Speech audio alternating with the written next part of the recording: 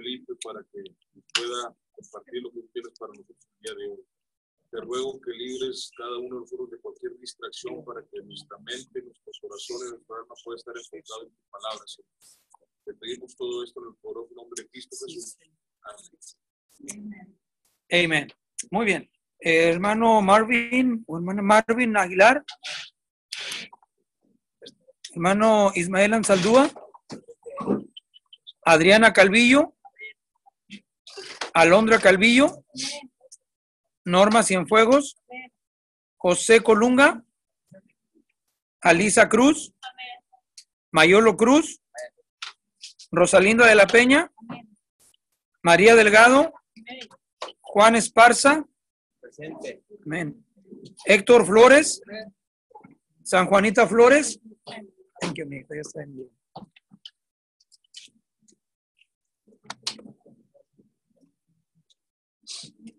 Edgar Galindo. María García.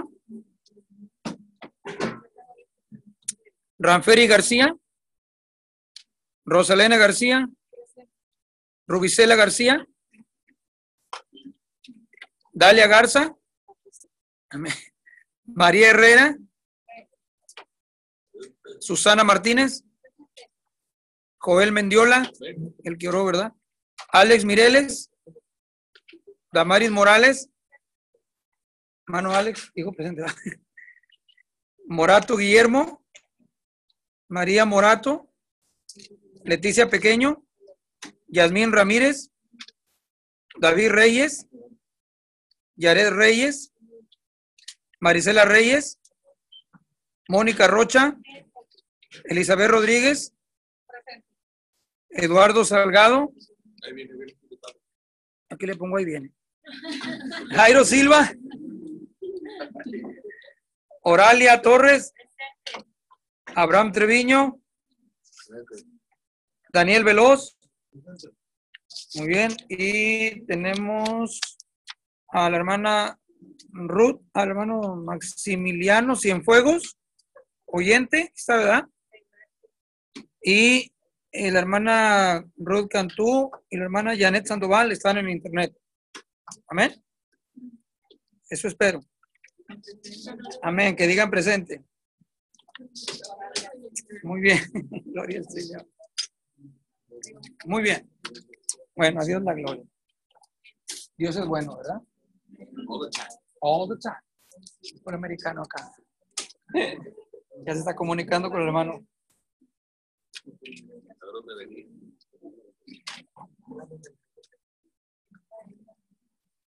Hermano, diga hermano que me dio una hoja del maestro, del repaso del capítulo 5. Del maestro, la que dice del maestro. Dele uno a cada. Aquí no, no, o sea, perdón. Vaya pasándola. Para que no tenga que parar. Sí, todos alcanzan.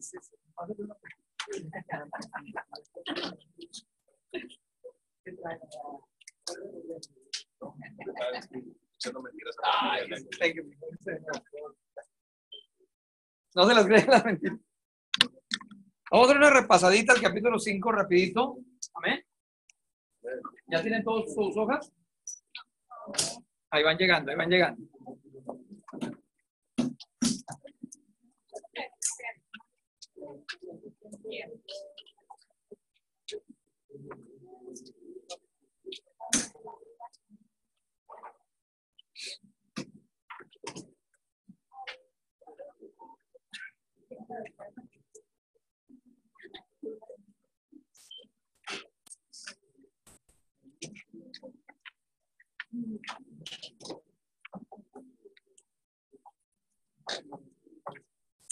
Amén. ¿Alguien faltó? ¿Todos tienen? Mano Jairo, ¿y ya tiene hoja? ¿Los de atrás no tienen? Ahí van unas poquitas para allá, ahí van, ahí van. Hicieron hojas para todo.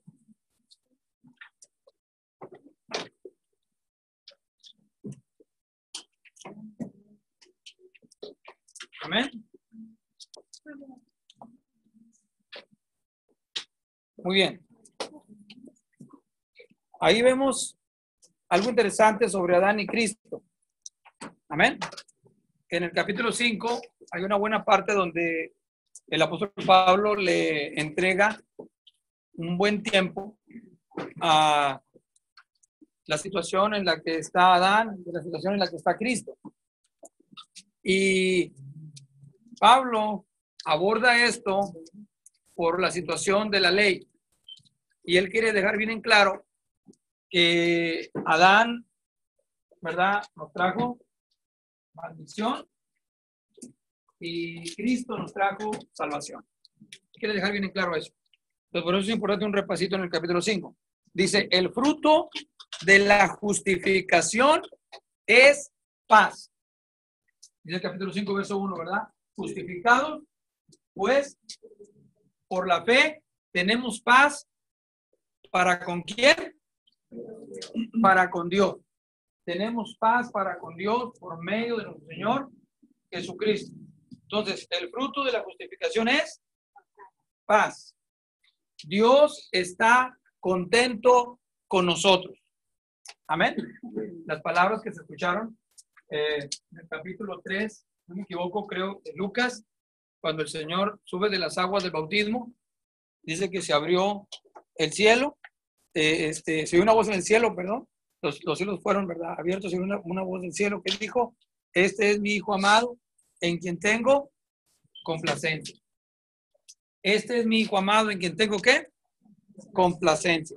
Entonces, en Cristo, todos los que estamos en Cristo justificados, tenemos complacencia delante del Padre Celestial. Tenemos complacencia delante de Dios. Qué bonito, ¿verdad? el mismo Pablo menciona en, el capítulo 5 de, de Romano que estábamos enemistados. ¿Se acuerdan que mencionamos eso? Lo vamos a ver como quiera otra vez, de pasadita. Pero estábamos enemistados, pero que ahora, gracias a Jesucristo, hemos sido reconciliados. Amén. Entonces, el fruto de la justificación es paz. Dios está contento con nosotros. Pero recuerde, recuerde, no con toda la humanidad, no con toda la humanidad. Está contento con los que han obedecido y creído por fe en Cristo. Pero todos los que no, pues, ¿eso tiene del maestro o tiene del alumno? Ah.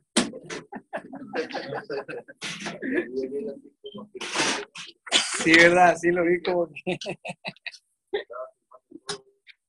luego estaba tapando la respuesta de todos. Sí. No, pero es que lo miré como que estaba meditabundo. Muy bien. Jesús es la causa. ¿Ya tiene hoja, hermano? Sí. Jesús es la causa de esta paz maravillosa. Él recibió el castigo de Dios por nuestros pecados. Entonces, la causa la causa de que tengamos paz con Dios, ¿quién es? ¿Qué dice Isaías capítulo 53, versículo 5? Si alguien lo tiene. Y versículo 6. Alguien que lo lea, por favor. Isaías 53, verso 5 y verso 6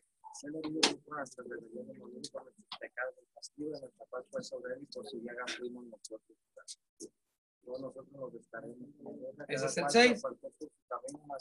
Jehová llevó en el pecado de todos nosotros. Jehová cargó en él o llevó en él el pecado de todos nosotros. Amén. Entonces, el castigo de nuestra paz fue sobre quién? Sobre él. ¿Quién es él? Tristemente los judíos, hasta el día de hoy, ¿verdad? No aceptan el, el capítulo 53 dice ahí. Es más, no lo tienen no lo tienen, no lo aceptan, no lo aceptan del profeta Isaías, no aceptan el capítulo 53 de Isaías, no lo aceptan como mesiánico, como, ¿verdad? Imputándoselo a Jesús, el que vino y murió en la cruz, no lo aceptan que Él es ese personaje. Pero nosotros sabemos que sí es, es Jesús, al que se refiere el capítulo 53, al siervo sufriente. Entonces, el castigo de nuestra paz fue sobre él. Y eso es lo que nos está diciendo Pablo. Justificados pues por la fe, tenemos paz para con Dios. Amén. Entonces, no puede haber paz con Dios si no hay justificación. Y no hay justificación si no hay alguien que nos justifique o que tome nuestro lugar. Y ese alguien es nuestro Señor Jesucristo. Lo que nos trajo la justificación, por lo menos cinco cositas rapidito. Acceso a la gracia de Dios y estar firmes en ella. Acceso a la gracia de Dios y estar firmes en ella. Sin Cristo, nadie éramos aceptos delante de Dios. Sin Cristo, nadie. Para poder llegar a Dios, los judíos tenían que sacrificar animalitos, tenían que derramar sangre, tenían que hacer eso, tenían que hacer lo otro. Y aún así, no tenían acceso con Dios. Nadie, nadie, nadie. Pero gracias a la justificación, dice la Biblia que cuando Cristo murió en la cruz, dice que hubo varias cosas, ¿verdad? Que sucedieron, pero una de ellas fue que el velo del templo se rasgó por la mitad. Entonces, ¿por qué se rasgó el velo del templo por la mitad? Se rasgó por la mitad, Anunciando que todos los que creyeran en Cristo, por Cristo tenían acceso libre a la presencia de Dios, al lugar santísimo, a la presencia de Dios. Amén. Inciso B, esperanza de poder ver la gloria de Dios. Esperanza de poder ver la gloria de Dios. Eso nos trajo la justificación. Jesús dijo claramente en el capítulo 14, ¿verdad? En el, en el versículo 2 parece que dice, eh, es en el 2 donde dice, para que donde yo estoy, vosotros también estéis. Entonces, la bendición de esto es de que no solamente tenemos la experiencia de conocer a Cristo en el perdón de nuestros pecados por fe, sino que tenemos la esperanza de que un día lo vamos a ver cara a cara allá en el cielo. Lo vamos a ver cara a cara, vamos a ver su gloria completa, lo vamos a ver en gloria, reinando, vamos a ver la gloria de Dios, vamos a gozarnos con Él, pero todo eso es gracias a la justificación. Amén. Ahora, gloriarse en las tribulaciones, otro, otro, beneficio, podríamos decir, que nos trajo la justificación gloriarse en las tribulaciones por el efecto que producen. Amén. Gloriarse en qué? En las tribulaciones. O sea, para nosotros como cristianos, las tribulaciones no nos destruyen, no nos desaniman. Si a usted lo ha, lo ha desanimado una tribulación, si a usted, ¿verdad? Lo, lo, lo, lo ha tratado de destruir, ese no es el propósito de la tribulación. Ese no es el propósito. Si usted ha sido justificado, las tribulaciones no son para destruirlo, para desanimarlo, para alejarlo de Dios. Las tribulaciones son para gloriarnos. Para gloriarnos en que no es por nosotros, sino es por Jesucristo. Por Jesucristo, por Jesucristo. El que nos justificó es el mismo que nos va a ayudar a pasar esa tribulación. Entonces, las tribulaciones, los problemas, mucha gente anda bien desanimada, bien desanimada. El problema, la lucha, que es en el camino de Dios, en el camino de Dios le llaman problema a cualquier cosa, ¿no? A cualquier cosa le llaman problema. A cualquier cosa. No podemos compararnos con el sufrimiento de otros cristianos, donde los están persiguiendo, les están prohibiendo predicar, les están prohibiendo hacer culto, les están quitando las Biblias, los están maltratando. No nos podemos comparar con ellos. Y nosotros a cualquier cosita decimos, ay, estoy en una tribulación. Es triste, hermano. Es más, con cualquier cosa se pelean en la casa el esposo y la esposa. Ya, que ya no te aguante, que un poquito polvo tose. En el templo parece una blanca palomita, pero en la casa, nada más la hermana sabe. O, nomás no, es verdad. Es verdad. No podemos controlar el matrimonio, es más entre dos. Hay de tribulación a tribulación, hermano. Tribulación la del hermano Job. Esa fue tribulación. Esa fue tribulación. ¿Verdad? Esteban, que lo apedrearon. Hay tribulaciones, ¿verdad? A veces viene una enfermedad a la vida y encamamos, caemos en cama, nos acaba el dinero, los familiares no nos pueden ayudar, el gobierno ya llegó hasta un punto donde ya no puede ayudar. Esa es una tribulación dura, pesada. Claro que sí. Pero en Cristo somos más que vencedores. Esa tribulación no es para desanimarnos y destruirnos. Esa tribulación es una oportunidad.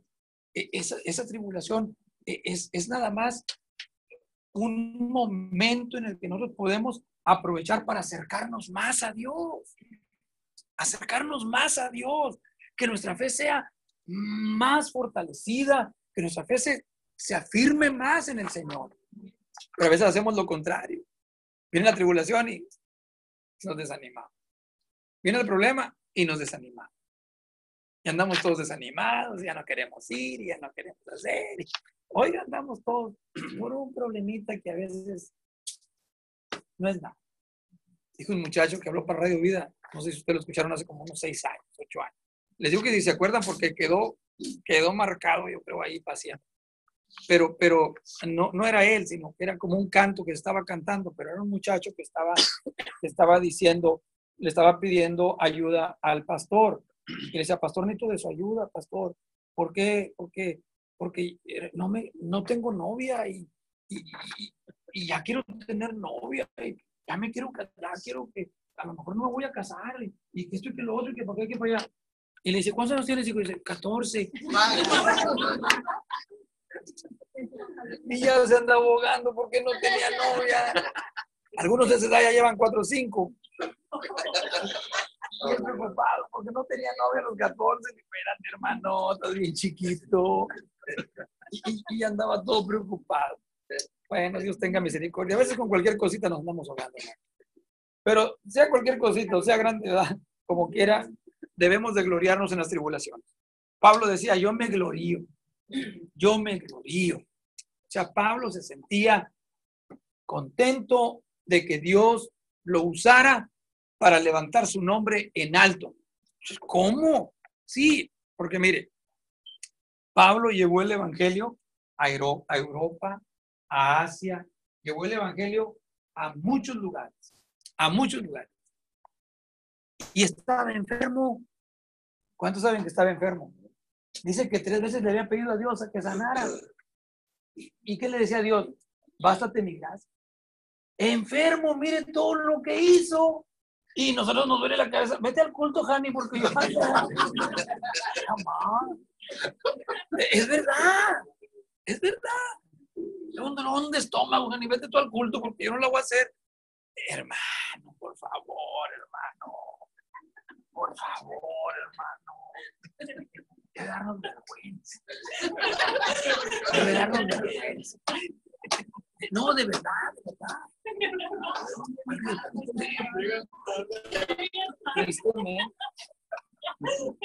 No, no, de perdió llegó.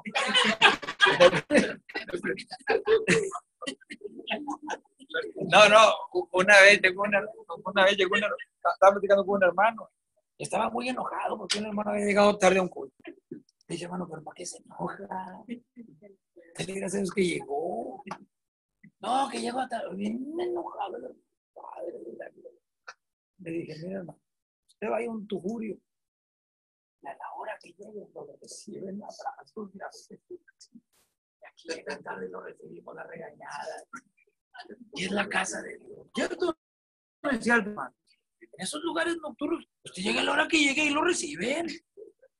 A la, y no le dicen, oye, ya cerramos en media hora, espera antes de llegar. ¿Verdad que le dicen? A usted nunca ha ido, ¿verdad, José? Pero, cuando era pagano, cuando era pagano. Bueno, pero es verdad, hermano. Es verdad. Que llegue a la hora que llegue ahí lo reciben y le abren la puerta y, lo atienden igual. Oye, pues en la iglesia, el hermano viene del trabajo, viene cansado, viene tratando de llegar. Ya llegó, recíbelo. Dale gloria a Dios porque llegó. Ahora, si tú sabes que llegó tarde por, ah, por negligencia, por otras cosas, bueno, pues aconsejalo. Pero si estás viendo que trae la camisa del trabajo y viene todo, y viene, déjalo, gloria a Dios, perdido llegó. Bueno, eso digo yo, que sé que otros pastores. Obtener una actitud perseverante y un carácter maduro en la fe. Dijimos, Pablo enfermo y evangelizó, hermano, medio mundo antiguo. Obtener una actitud perseverante y un carácter maduro en la fe. Entonces, si enfermo logró todo eso, imagínese usted la actitud y el carácter que necesitaba para mantenerse caminando a pesar de. imagínese, si tiene una actitud derrotista, una actitud derrotista. Si Bernabé decía en el primer viaje misionero, Pablo, este, pues vámonos porque ya nos llamó. Y vamos, sí, ya nos llamó, pero mira cómo estoy yo, tengo esto, no creo que la haga. Pero ya nos mandó el Espíritu Santo, Pablo. Así, pero pues cómo nos manda, así como ando yo. Y sí, hermano, con esa actitud, hermano. Oh, yo quiero predicar, yo quiero predicar, pero que me den un domingo. Ahí le dice, no me dan domingo, no, es que, que predique el martes, no, hombre. Yo predico el domingo, predico. Un día, un día que haya mucha no se el predicador del mundo. Muchas veces nos ponemos muy exigentes. A veces el carácter o la actitud es más de lo que realmente debemos nosotros considerar de nosotros mismos. Y a veces también el carácter o la actitud es mucho más abajo de lo que debemos de considerar. El apóstol Pablo está apelando a una actitud y un carácter donde nosotros estemos mediados. Yo cuando daba psicología, yo decía, tu carácter o tu actitud eh, de ti mismo no debe de ser ni de jirafa, no te creas tampoco un orgulloso que exijas, pero tampoco de una cucaracha. No, hermano, yo no merezco. No, hermano, no, yo no soy digno, que yo soy un burro. Que Y a veces lo dicen nomás por decirlo y realmente no hay un corazón humilde. Entonces, no, no, tampoco ni tan abajo ni tan arriba. Debes de tener una actitud y un carácter, ¿verdad? Del Señor, de Cristo. Cristo ni tan arriba ni tan abajo, ¿verdad? Tampoco él andaba, no, yo no voy porque yo no soy, no, no, no, él iba, él iba y hacía y oraba y los enfermos sanaban. Pero claro, con humildad, pero con una humildad, dice la palabra de Dios, ninguno tenga una qué? Ninguno tenga un concepto de sino más alto del que debe de tener. Entonces, en la actitud y el carácter deben ser maduros. ¿En qué? En la fe. Maduro. Pero una actitud bíblica. Yo le podría agregar ahí una actitud bíblica. Una actitud y un carácter bíblico. ¿Cómo podemos obtener una actitud y un carácter bíblico? ¿Cuál es ese? Pues es el de Cristo. La Biblia dice, hasta que Cristo sea formado en quién? En nosotros. ¿Cómo se va a formar Cristo en nosotros? ¿Cómo se va a formar Cristo en nosotros? Una cosa es la justificación. La justificación es, una, eh, eh, es un acto. Tome nota de eso. La justificación es un acto. Pero la santificación de lo que también habla eh, en, lo que nos toca ahora, especialmente en el capítulo 8, que nos habla del Espíritu Santo, la justificación es un acto, pero la santificación es una obra. Es una obra. Amén. Es una obra. La justificación es el medio. Tome nota de eso. La justificación es el medio, pero la santificación es el fin. Es el fin. Por eso nos justificó, para santificarnos, para santificarnos a nosotros. E, eso es algo glorioso, hermano. Es algo glorioso. Entonces la santificación tiene que ver con que Cristo sea formado en nosotros. Eso no lo podemos lograr por nosotros mismos. Ni la justificación, ni la santificación. No lo podemos lograr por nosotros mismos. La justificación porque no podríamos morir nosotros por los pecados, porque éramos pecadores. Necesitaba un justo. El justo por los injustos. ¿Quién era el justo? Cristo. Y no podemos santificarnos porque nosotros no fuimos los que nos justificamos. Fue Cristo el que nos justificó. Entonces, Él puede santificarnos. Entonces, Él nos santifica, pero no nos puede santificar sin antes primero justificarnos. Por eso primero somos justificados y luego somos santificados. Es bien importante eso. En la santificación es donde comenzamos nosotros a adoptar, a formar el carácter y la actitud de Cristo. La gente tiene que ver a Cristo en nuestra vida. Si sigue viendo a Felipe, al viejo hombre, entonces yo no estoy dejando que la santificación obre en mi vida. Ya obró la, la justificación, pero yo no estoy dejando que obre la santificación. Está interesante. Está interesante. Por eso dice la palabra del Señor, que debemos de santificarnos más, santificarnos más. ¿Qué significa santificarnos más? Parecernos más a Cristo y abandonar más las acciones y en todo lo que nos parecemos al viejo hombre, el pecado, el yo, que es el que aparece en, Romanos, el yo. Por eso Jesucristo dijo, alguno quiere venir en pos de mí, niéguese a sí mismo. Tome su cruz cada día. Enfado mí. Síganme. Entonces, la justificación es un acto, la santificación es una obra. La justificación es el medio, la santificación es el fin. Para eso fuimos justificados, para ser santos. ¿Por qué tenemos que ser santos? Porque si no somos santos, ya agradamos a Dios en la justificación en Cristo. Pero ahora tenemos que agradar a Dios en nuestro diario vivir. Y para poder agradar a Dios en nuestro diario vivir, tenemos que vivir una vida de santidad. Porque Pedro contesta ya, ¿verdad? También en el capítulo 3, sin santidad nadie verá al Señor. Nadie puede ver al Señor si no hay santidad. Pero ya fui justificado, sí, pero si no vives una vida de santidad, pierdes la bendición de la salvación. ¿Qué significa eso entonces? Que la justificación es el riel por donde corre el vagón. Y el vagón es la santificación y la salvación. ¿Sí me explico? Ahí van corriendo arriba de la justificación. Ahí van corriendo. Santificación y salvación. Van corriendo arriba de ese traque. El traque es la justificación. Y arriba de ese traque va la, va, la santificación y la salvación. La santificación no puede parar. Todos los días tenemos que estarnos santificando. ¿A qué se debe la santificación diaria? ¿Qué, demanda una santificación diaria? Que vivimos en un mundo lleno de pecado todos los días, lo que vemos, lo que oímos alrededor, con quién trabajamos, con quién convivimos, todo lo que hay es un mundo lleno de pecado. No podemos parar de vivir santificándonos.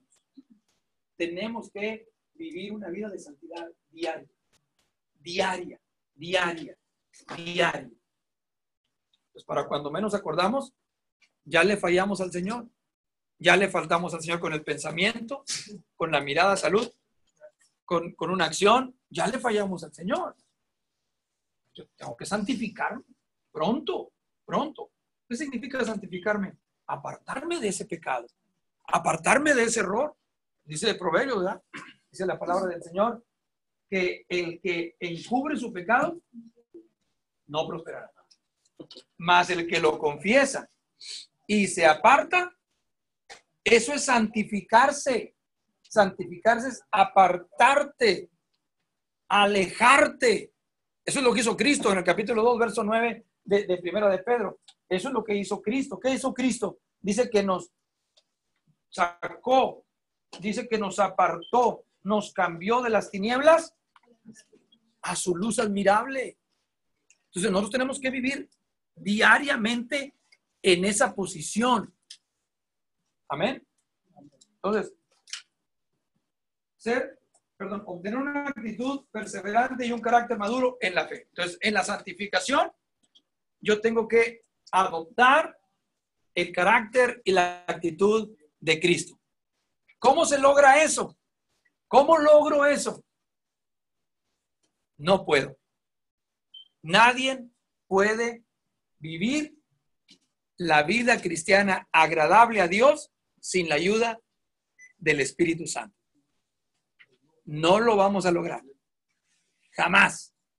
Jamás. Si el Espíritu Santo no nos ayuda, todo el capítulo 8, yo sé que ustedes lo estudiaron, pero todo el capítulo 8 de Romanos nos da una cátedra. Inténtalo.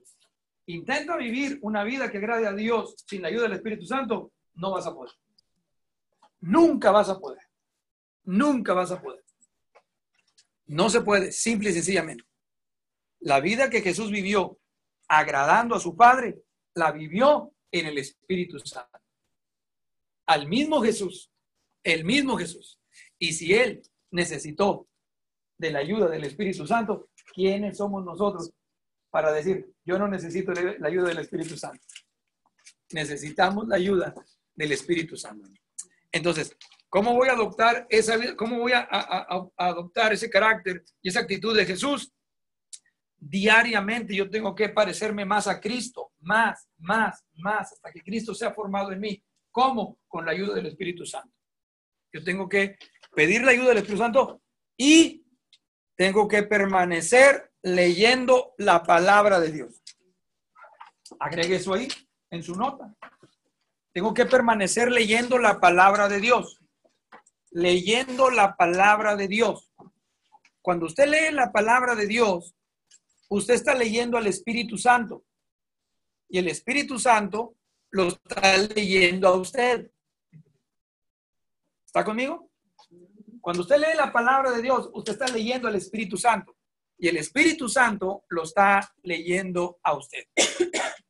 Mientras más usted la palabra de Dios, la palabra va a ir impactando su corazón. Tome nota de esto. Entre más leo la palabra de Dios, la palabra va impactando mi corazón. Va impactando mi corazón. Entre más leo la palabra de Dios, va impactando mi corazón. Siga tomando nota, por favor. Y modificando. Y modificando mi oración, coma, mi conversación,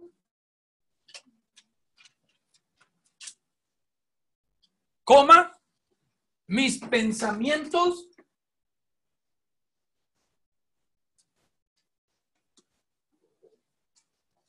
coma, mis sentimientos y mis acciones. Todo eso pasa, hermano Felipe. Todo eso sucede cuando leemos la palabra de Dios. Cuando leemos la Biblia, hermanos, salud, se comienzan a modificar las cosas. ¿Cómo van cambiando mis palabras? Cuando yo oro, yo oro la palabra de Dios. Yo ya no uso un lenguaje humano, uso la palabra de Dios para orar. Debemos usar la palabra de Dios para orar, pero no la podemos usar porque no la leemos.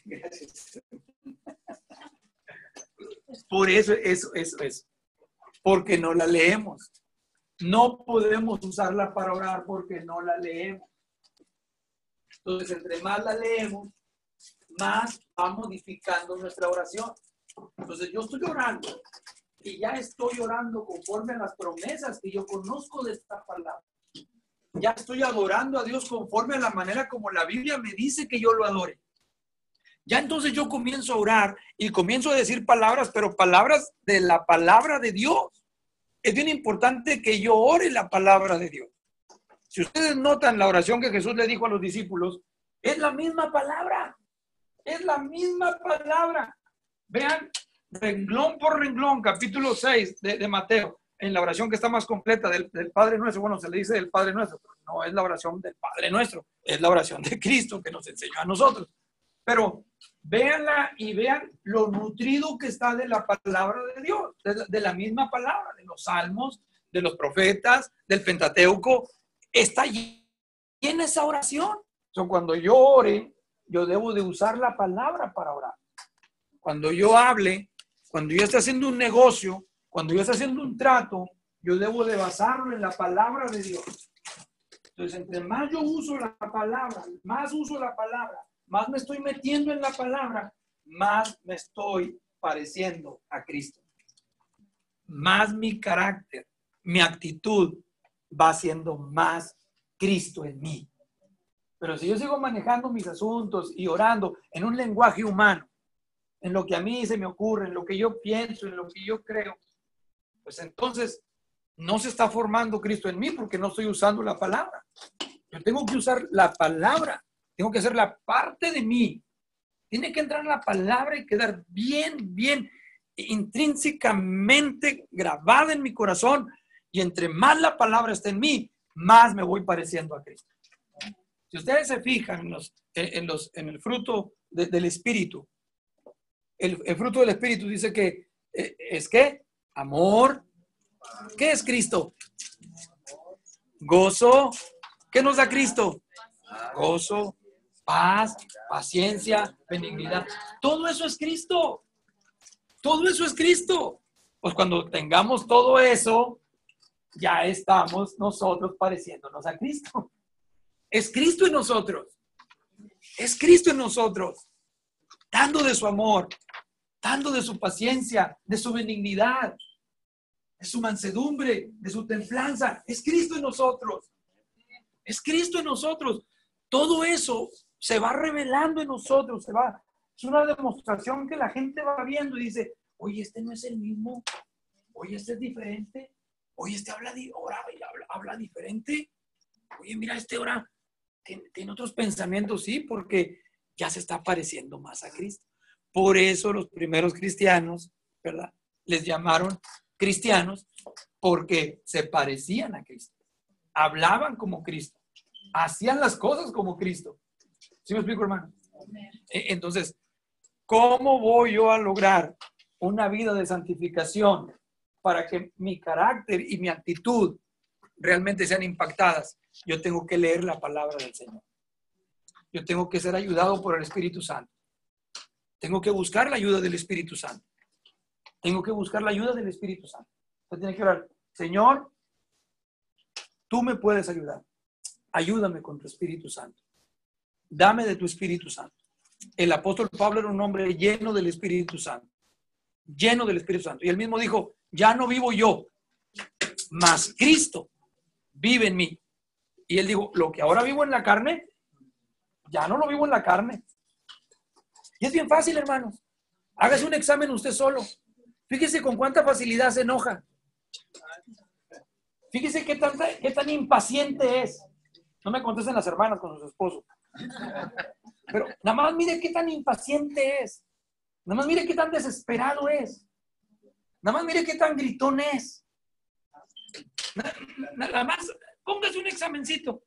¿Qué tanto nos parecemos a Cristo? Amén. ¿Qué tanto nos parecemos a Cristo? Nos falta mucho, hermanos, comenzando conmigo. Nos falta mucho.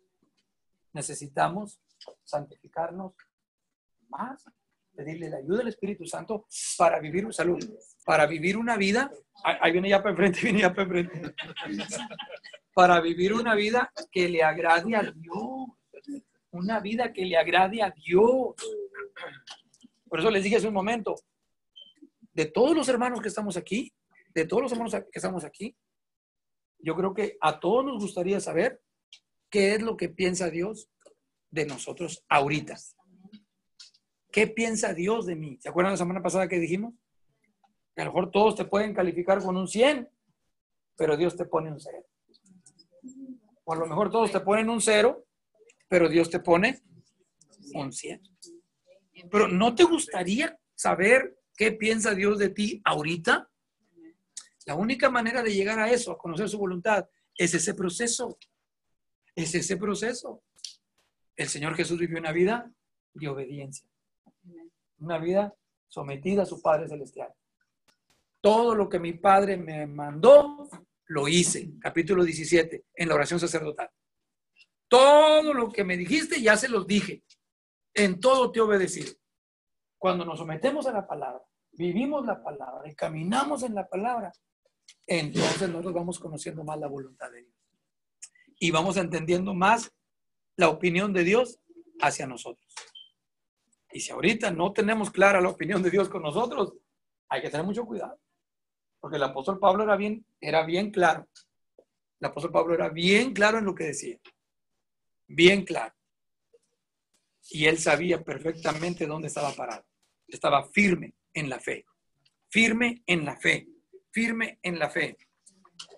Entonces, la última, ser salvos de la ira de Dios a pesar de lo que éramos. Tres aspectos, ¿verdad? Débiles, pecadores y enemigos. Eso lo mencionamos también. Pablo compara a Cristo y a Adán como cabezas del pacto. Pablo compara a Cristo y a Adán como cabezas del pacto.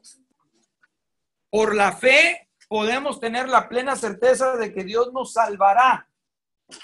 Por la fe, por la fe podemos tener la plena certeza de que Dios nos salvará. Salud.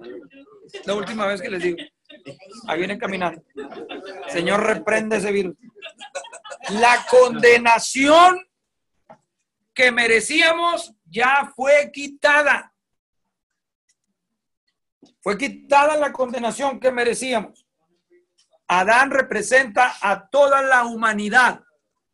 O sea que lo que se le dijo a Adán como representante de toda la humanidad que iba a venir, lo que se le dijo a Adán y lo que se le dio a Adán, se nos dio y se nos dijo a toda la humanidad. Adán recibió maldición, pues en Adán todos recibimos maldición. Porque él era el representante, la cabeza de toda la humanidad que iba a venir. Tremendo, tremendo. Tal como Cristo es la cabeza de una humanidad nueva, es decir, de los creyentes. Ahí ya nos alivianamos, ¿verdad? Ahí el Señor ya nos levantó, ¿verdad? Pablo no está hablando en su carta de una salvación universal. Ojo con eso, hermanos. Todos somos salvos. Todos nos vamos a salvar. Todo el mundo. No, espéreme, espéreme, espéreme, espéreme. No, no, no, no, no. Hay que confundir esto. Pablo no está hablando en su carta de una salvación universal en el sentido que todo el mundo será salvo. No, de ninguna manera. Pablo desmiente una salvación de esta naturaleza. Pablo desmiente una salvación de esta naturaleza. Pues habla en esta misma carta del justo castigo. Amén. Un justo castigo de Dios sobre aquellos que no obedecen a la verdad. En el capítulo 2, en el 5 y en el 8. El contraste del primer Adán y el segundo. Ya se ven allá el movimiento. Ya menos suena la chicharra, ¿verdad? Adán destruyó. Adán destruyó. En otras palabras, Adán nos arruinó. Dijo un hermano, yo llegando al cielo le voy a reclamar a Adán. Eso quiere decir no vas a ir entonces. Llegando ya se te va a olvidar todo.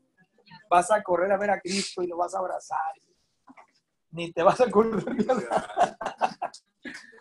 Sí, que cuando llegue le voy a preguntar a Eva, hermano, llegue primero. Primero llegue. Sí, no, con ese pensamiento menos. Adán destruyó, Cristo restauró. Amén. Cristo restauró. Adán trajo la muerte. Cristo trajo la vida eterna. Por el pecado de Adán reinó la muerte. Por medio de Cristo podemos reinar con Él en la vida eterna. Adán trajo la condenación, Cristo la justificación. En conclusión, alguien que lea la conclusión, por favor. Por medio de Cristo podemos reinar con Él en la vida eterna. Y la última, la cuatro, Adán trajo la condenación, Cristo la justificación. Amén. Por el pecado de Adán reinó la por el pecado de Adán, reinó la muerte. Está perdonada. Gracias, gracias. Amén. Dos. Adán trajo la muerte, trajo la vida eterna. Vida eterna. Eso es un repaso nada Ahora, si alguien que lea eh, la conclusión, hermanos, alguien en voz alta, por favor.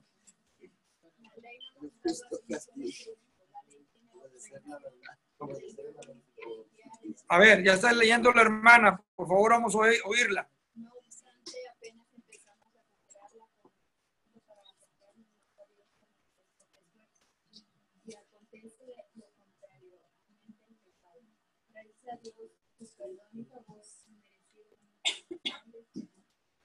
Amén. Amén a eso. Amén y amén y amén. Amén, hermanos. Bien. Ahora vamos a entrar al contraste de la ley y la gracia. Ya entramos a lo de hoy. Amén. Contraste de qué? De la ley y la gracia. Contraste de la ley y la gracia. Ley es lo que el hombre tiene que hacer. La gracia, gracia es lo que Dios ha hecho. Amén. Ley es lo que el hombre tiene que hacer. Gracia es lo que Dios ha hecho. Ya lo hizo. Pensaba que me estaban tomando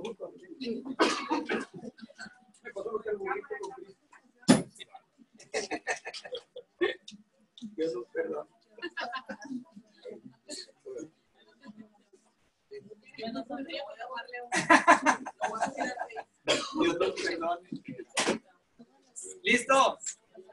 Amén. Bien. Repetimos, ley y gracia. Ley es lo que el hombre tiene que hacer.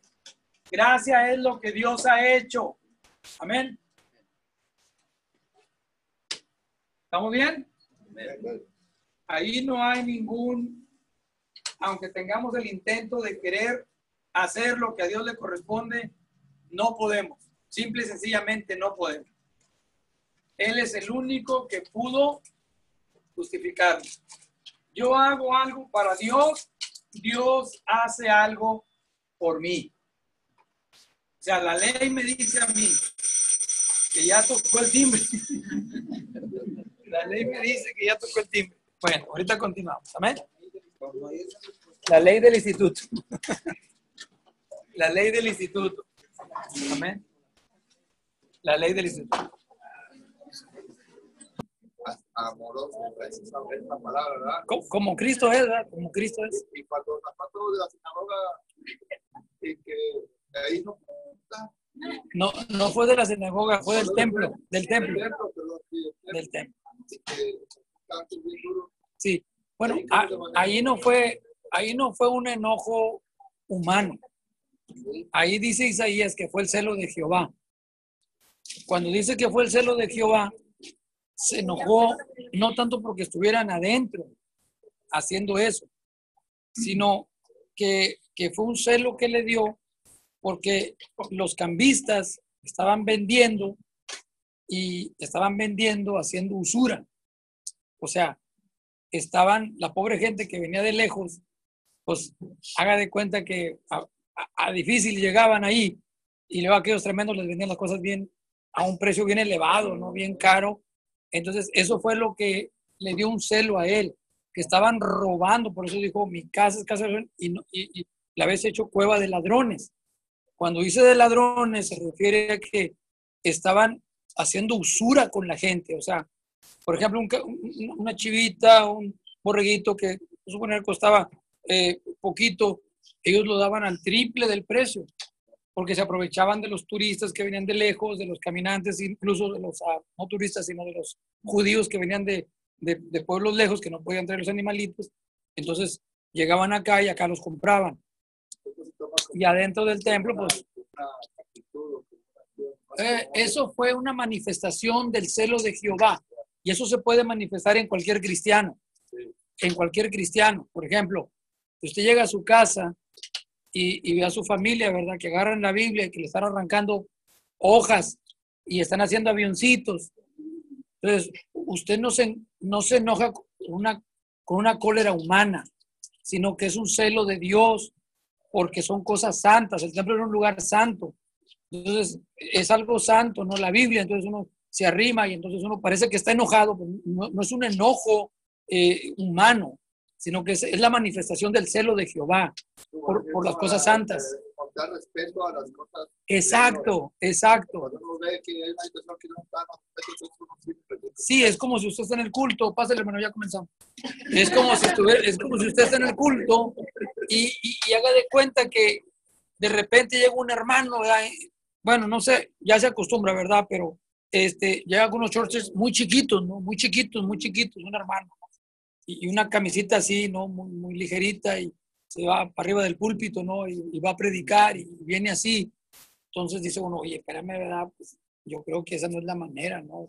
De, de estar ahí enfrente. Ya se usa, ¿me entiende? Pero usan chorches más largos, ¿no? Abajo de la rodilla. Cada quien, ¿no? Los que lo aceptan, los que no. Eso ya es asunto personal.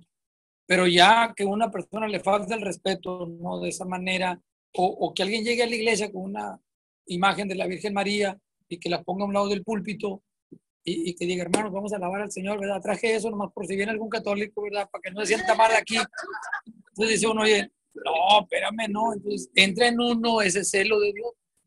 Entonces dice uno, oye, espérame, espérame, este, eso no es correcto. ¿verdad? Si uno católico se siente mal, pues que se vaya, pero, pero, pero aquí estamos para alabar a Dios nomás. Son cosas, son cosas que, que, que le faltan el respeto, ¿no? A, a lo santo de Dios. Pero ahí entra el Espíritu Santo. Tú no te mueves tú por ti mismo. El que te mueve es el Espíritu de Dios. O sea, no te mueves tú porque te enojaste y órale, sáquenla y a patadas. No, no, no, no, no. Es el Espíritu de Dios.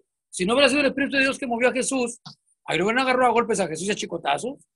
Ahí te lo golpean y te lo descalabran y te lo sacan. Bueno, ¿usted quién, usted quién es? Andan regañando, no. Pero como era la unción del Espíritu Santo, eso dominó a la gente. Y fue lo que, fue lo que sujetó a la gente.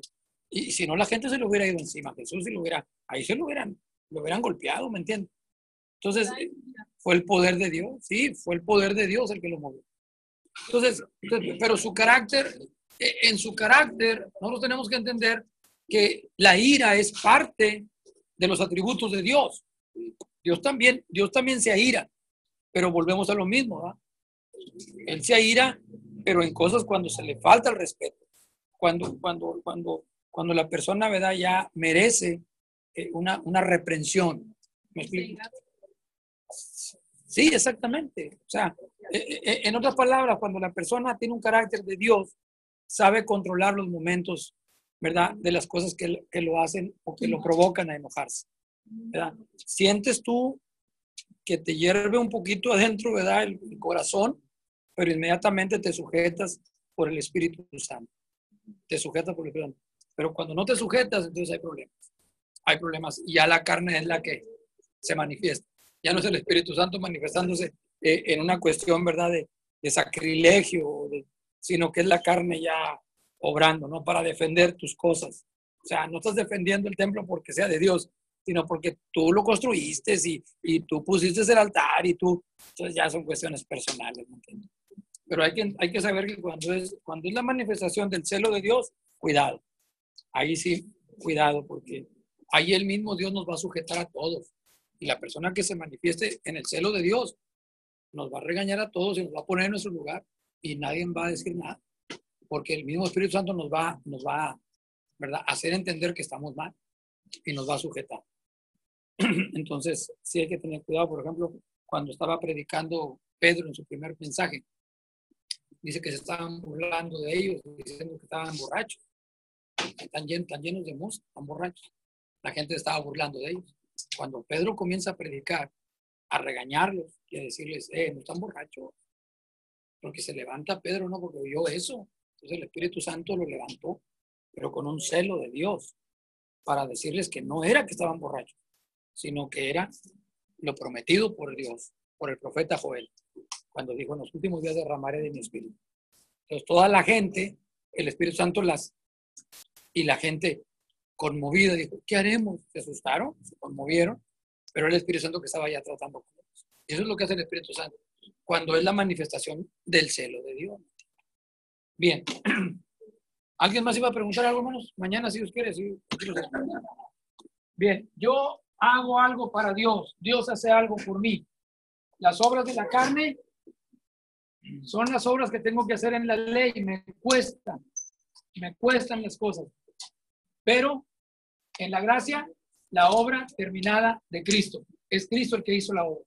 Ya no tengo yo que, ¿verdad?, hacer nada. Es Cristo el que hizo la obra. En la ley, el hombre esforzándose todos los años, todos los días, todos los días, todos los días, ofreciendo sacrificio, ofreciendo sacrificio, ofreciendo sacrificio.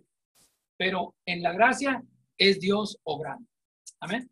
Tratar y esforzarse por alcanzar las normas de Dios, lo que el hombre pecador nunca puede lograr. O sea, humanamente, Pablo nos enseña en, en la carta de los romanos que nunca vamos a poder satisfacer nosotros o agradar a Dios por nuestras propias fuerzas.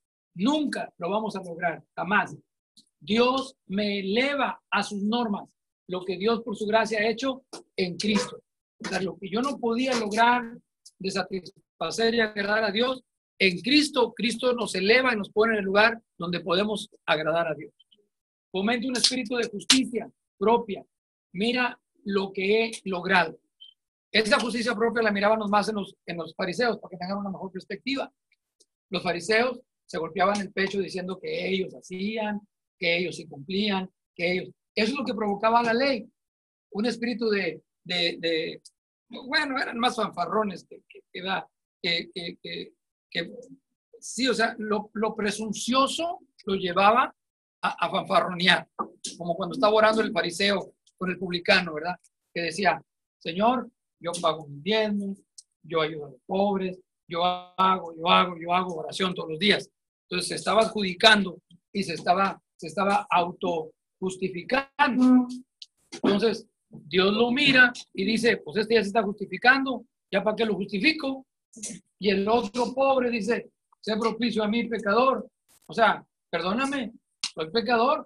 ¿Y, y, qué dice, ¿Y qué dice la Biblia? Que descendió el publicano primero justificado a su casa que el fariseo. Entonces, ¿qué es lo que hacía la ley? La ley fomentaba un espíritu de presunción, un espíritu de, de, orgullo, de decir, yo sí cumplo con la ley, yo sí hago, ustedes no pueden, pero yo sí puedo. ¿Sí me explico? Pero la gracia fomenta un espíritu de genuina humildad, excluyendo toda jactancia. Todos los méritos son de quién? Ahí nadie podemos colgarnos ninguna esperita porque todo ha sido gracias a la misericordia de la gracia de Dios. El monte Sinaí es central. El monte del Calvario es central. ¿Por qué el Sinaí? Porque ahí se dieron las tablas. Ahí subió Moisés y ahí Dios le dio las tablas, en el capítulo 19 de Éxodo, y de ahí en adelante, salud Ahí se dieron las tablas. ¿Y por qué en el monte Calvario? Porque ahí fue donde Jesús nos justificó, clavado en la cruz del Calvario derramando su sangre preciosa. Esclavitud. La ley nos esclavizaba. Nadie podía. Eran como 632 mandamientos escritos más los que los fariseos aumentaron después. Nadie podía, nadie podía cumplir con toda la ley. Porque si infringías con una sola cosa, ya toda la ley la estabas infraccionando. Toda la ley. O sea, con algo que fallaras, toda la ley la, estabas infringiendo. Entonces, no se podía, pero en la gracia hay liberación. Dios sí puede. Por eso Pablo dijo, todo lo puedo en Cristo que me fortalece. Entonces, finalmente Dios demanda vida y amor. ¿Dónde? En la ley. Harás, no harás. Harás, no harás. O sea, en otras palabras, tenías que seguir una serie de reglas. Haz esto, no hagas esto. Haz esto, no hagas esto. Haz esto, no hagas esto. Por eso cuando entramos en las iglesias muchas veces se hacen conflictos porque todavía hay ese espíritu de que muchas corrientes doctrinales en las iglesias comienzan a, comienzan a entrar de que no, no, no, no tienes que hacer eso. No, no, no debes de hacer eso. No, no, no es así. No, no debes de, entonces comienza a ver como un tipo de legalismo, ¿me entiendes? Como un tipo como que volvemos a la ley otra vez. Pero la gracia nos habla de que Cristo mora en mí, mora en mí. Y si Cristo mora en mí, entonces ya lo que me, regula, lo que me mueve es el amor de Cristo Jesús. Él es el que me regula, Él es el que me mueve. ¿Por qué Él es el que, por qué Él es el que me mueve? porque Él es el que provee vida y amor. O yo tenía que cumplir esto para poder vivir. Yo tenía que cumplir esto para poder vivir. Yo tenía que amar, a fuerza tenía que amar. Pero ahora en la gracia, Cristo mora en mí y Él provee vida y Él provee amor. O sea, ya no tengo que estar luchando yo por, cumplir algo para vivir. No, Cristo murió por mí. Y porque Cristo murió por mí, Él me da vida y vida en abundancia. Entonces, yo, yo tengo que mirar eso y tengo que aceptarlo. Ahora, hay dos posiciones en Romanos. Dos posiciones importantes. En primer lugar, la persona dominada por la carne. Amén. La persona dominada por la carne. Abran la Biblia en el capítulo 6 y vamos a ver el versículo 5 rapidito. Si alguien lo tiene, lea por favor. Romanos 6, 5.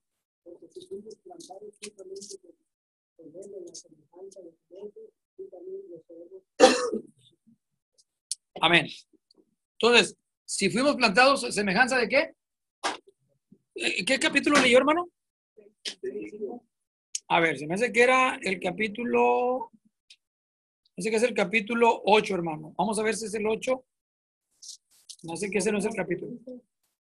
No, no, no, no. Estamos mal ahí. A ver, el 8.5. Porque los que son de la carne. Ándele, es el 8.5. Sí. Pero los que son del espíritu, en las cosas del espíritu. Que me quedé en el 6. Entonces, los que son de la carne, los que son de la carne, ¿qué? piensan en cosas de la carne. Los que son de la carne piensan en las cosas de la carne. Entonces, ahí podemos comenzar a hacernos un test nosotros mismos. Si andamos en el espíritu o si andamos en la carne. Un cristiano puede inmediatamente darse cuenta. Inmediatamente. ¿Cómo es eso, hermano Felipe? ¿Qué es lo que demanda más de tu atención? ¿Y qué es lo que demanda más de tu tiempo? Hablando de tiempo de calidad, no estamos hablando de tiempo de 5 horas, 8 horas, 10 horas. Tiempo de calidad. Tiempo de calidad. Mucha gente piensa que porque ora dos horas diarias ya está viviendo en el espíritu. No es así. Porque se hincan dos horas y dicen, ya, oré dos horas, ya, diarias. No es así. La Biblia dice, orad sin cesar. ¿Cómo puedo yo orar sin cesar? No puedo estar hincado todo el día. No puedo estar hincado todo el día. Entonces, si soy de la carne, no voy a estar pensando en la oración. Pero si soy del espíritu, voy a estar pensando en la oración. ¿Eso qué significa? Eso significa que los del espíritu tienen o viven en una constante oración en su corazón. O sea, no necesitan hincarse para estar orando. Estamos orando todo el día. Nos hincamos a orar, sí, pero el hecho de que nos hinquemos y dediquemos un prime time exclusivamente para orar directamente no significa que nos vamos a levantar y decir, ya oré, ya me voy. No, no me puedo desconectar de Dios. Entonces yo tengo que permanecer todo el día en oración en mi corazón, todo el día, todo el día. Dios, tome nota de esto, Dios le ha dado al hombre la habilidad, la habilidad, al hombre cristiano, ¿verdad? Al, al cristiano. Dios le ha dado al cristiano la habilidad de poder hablar con él en su corazón sin dejar de proyectarse en este mundo. Voy a repetir, Dios le ha dado la habilidad al hombre cristiano, al cristiano, de poder hablar con él en su corazón sin dejar de proyectarse a este mundo, sin dejar de proyectar. ¿Qué significa eso? Que mientras yo estoy dándoles la clase ahorita, hermanos, yo estoy o yo debo de estar orando en mi corazón. Yo no debo dejar de orar sin dejar de proyectarte al mundo. O sea, eso significa que mientras estás manejando, tú estás orando. Mientras tú estás en el trabajo, tú estás orando. Tú estás orando. Sí, miren, hermano. Si se puede lograr eso, si un cristiano pueden orar. La habilidad Dios se la dio. Lo pueden lograr, créanme, hermano, que van a ver una grande diferencia en su vida cristiana. Van a ver una grande diferencia en su vida cristiana. ¿Qué tengo que hacer? Ora en tu corazón. Ora la palabra. Mientras me está viendo aquí, usted en su corazón esté adorando a Dios. Esté adorando a Dios. Si usted se, mire, eh, tome nota de esto también. Si nos desconectamos de la oración,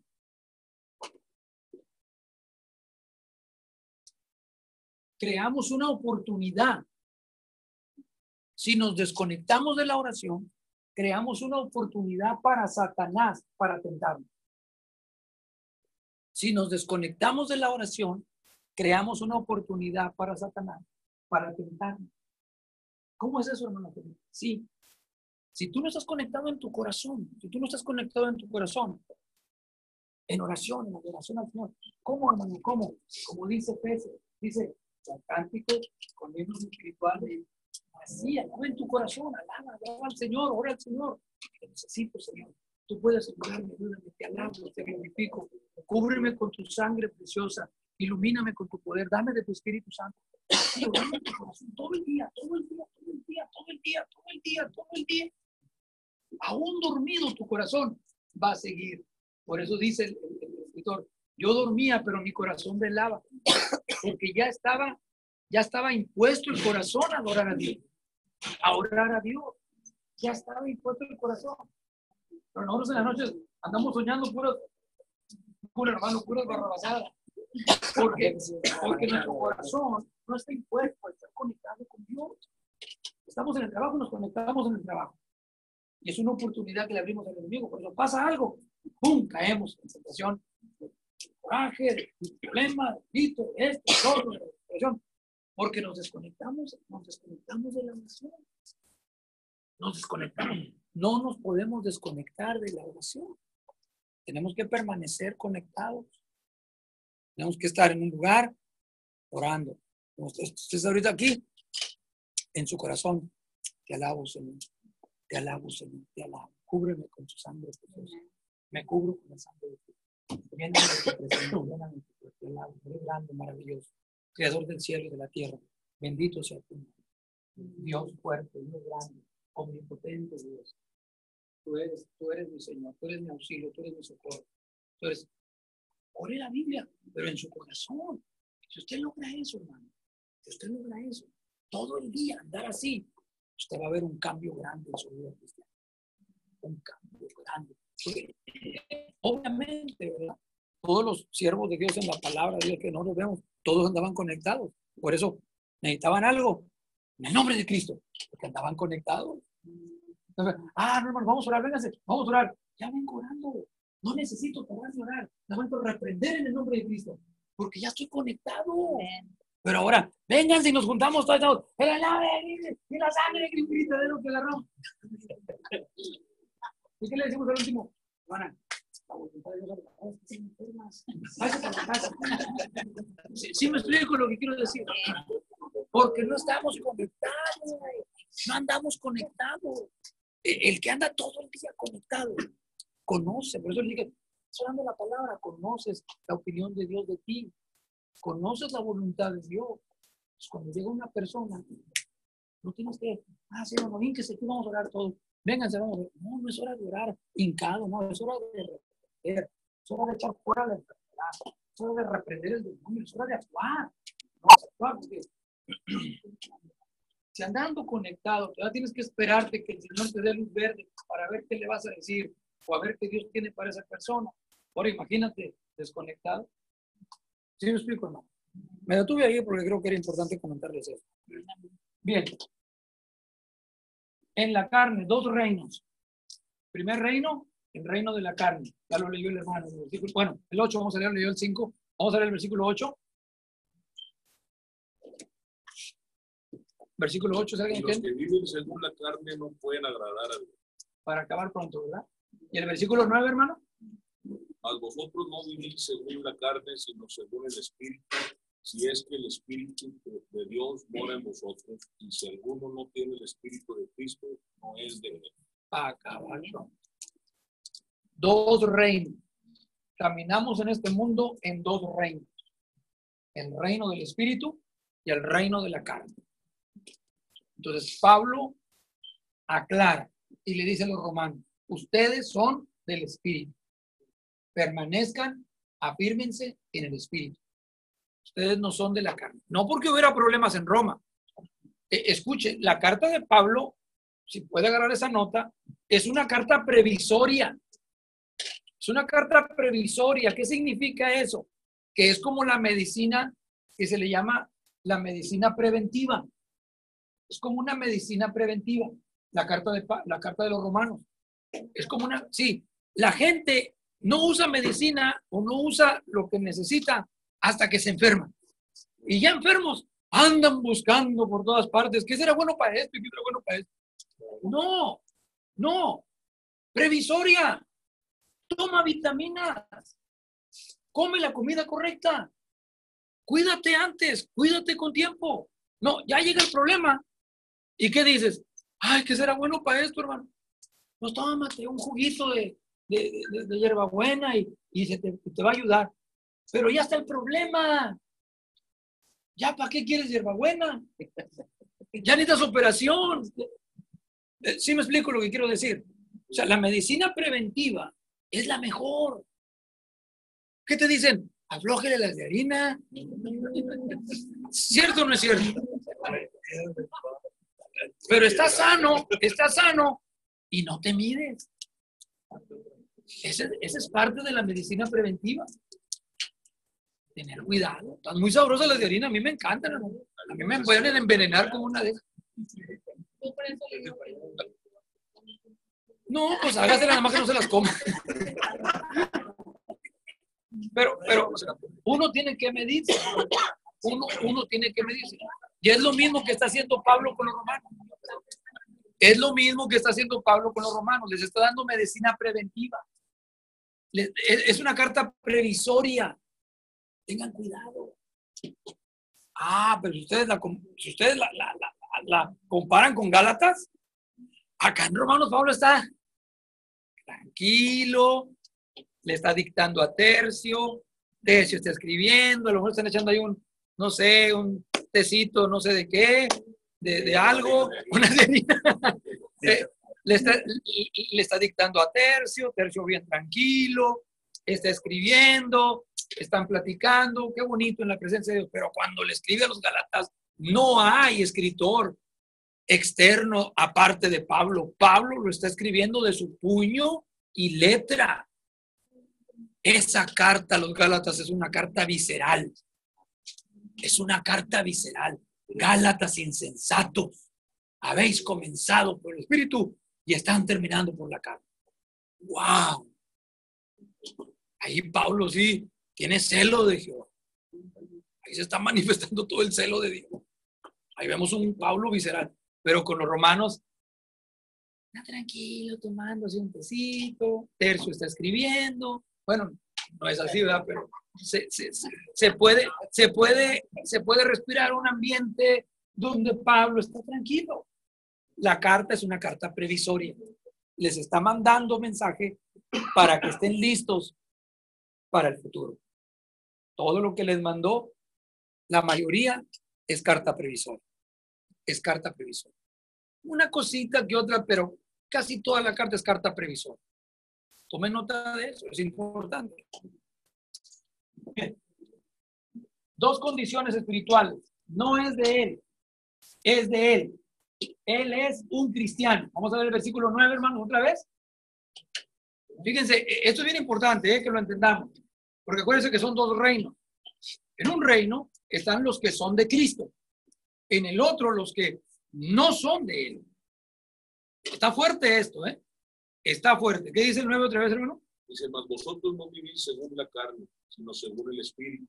Si es que el Espíritu de Dios mora en vosotros. Ahí está. Y si alguno no tiene el Espíritu de Cristo, no es de él. No es de él. No es de él. ¿Qué significa no es de él? ¿Qué significa eso? Que no es guiado por el Espíritu Santo, no es iluminado, que su nombre no está escrito en el libro de la vida, que no es una persona justificada, no es una persona que vive en santidad y se preocupa por, por santificarse. No es de él, no es de él.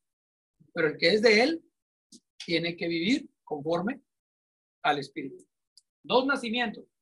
Nacido de la carne, según Juan 3.6. ¿Alguien lo tiene? Juan 3.6. Estamos en la carne por nacimiento natural. Amén.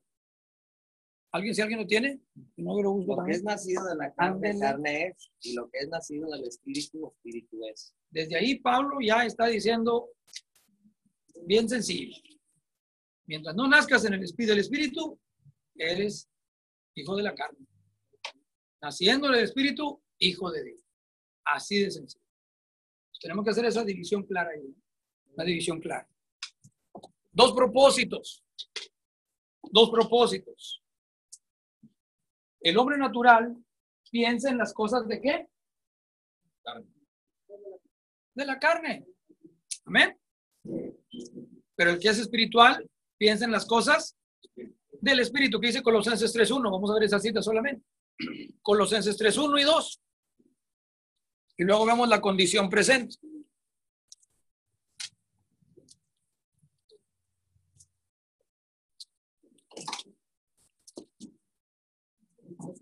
Sí, por favor, hermano.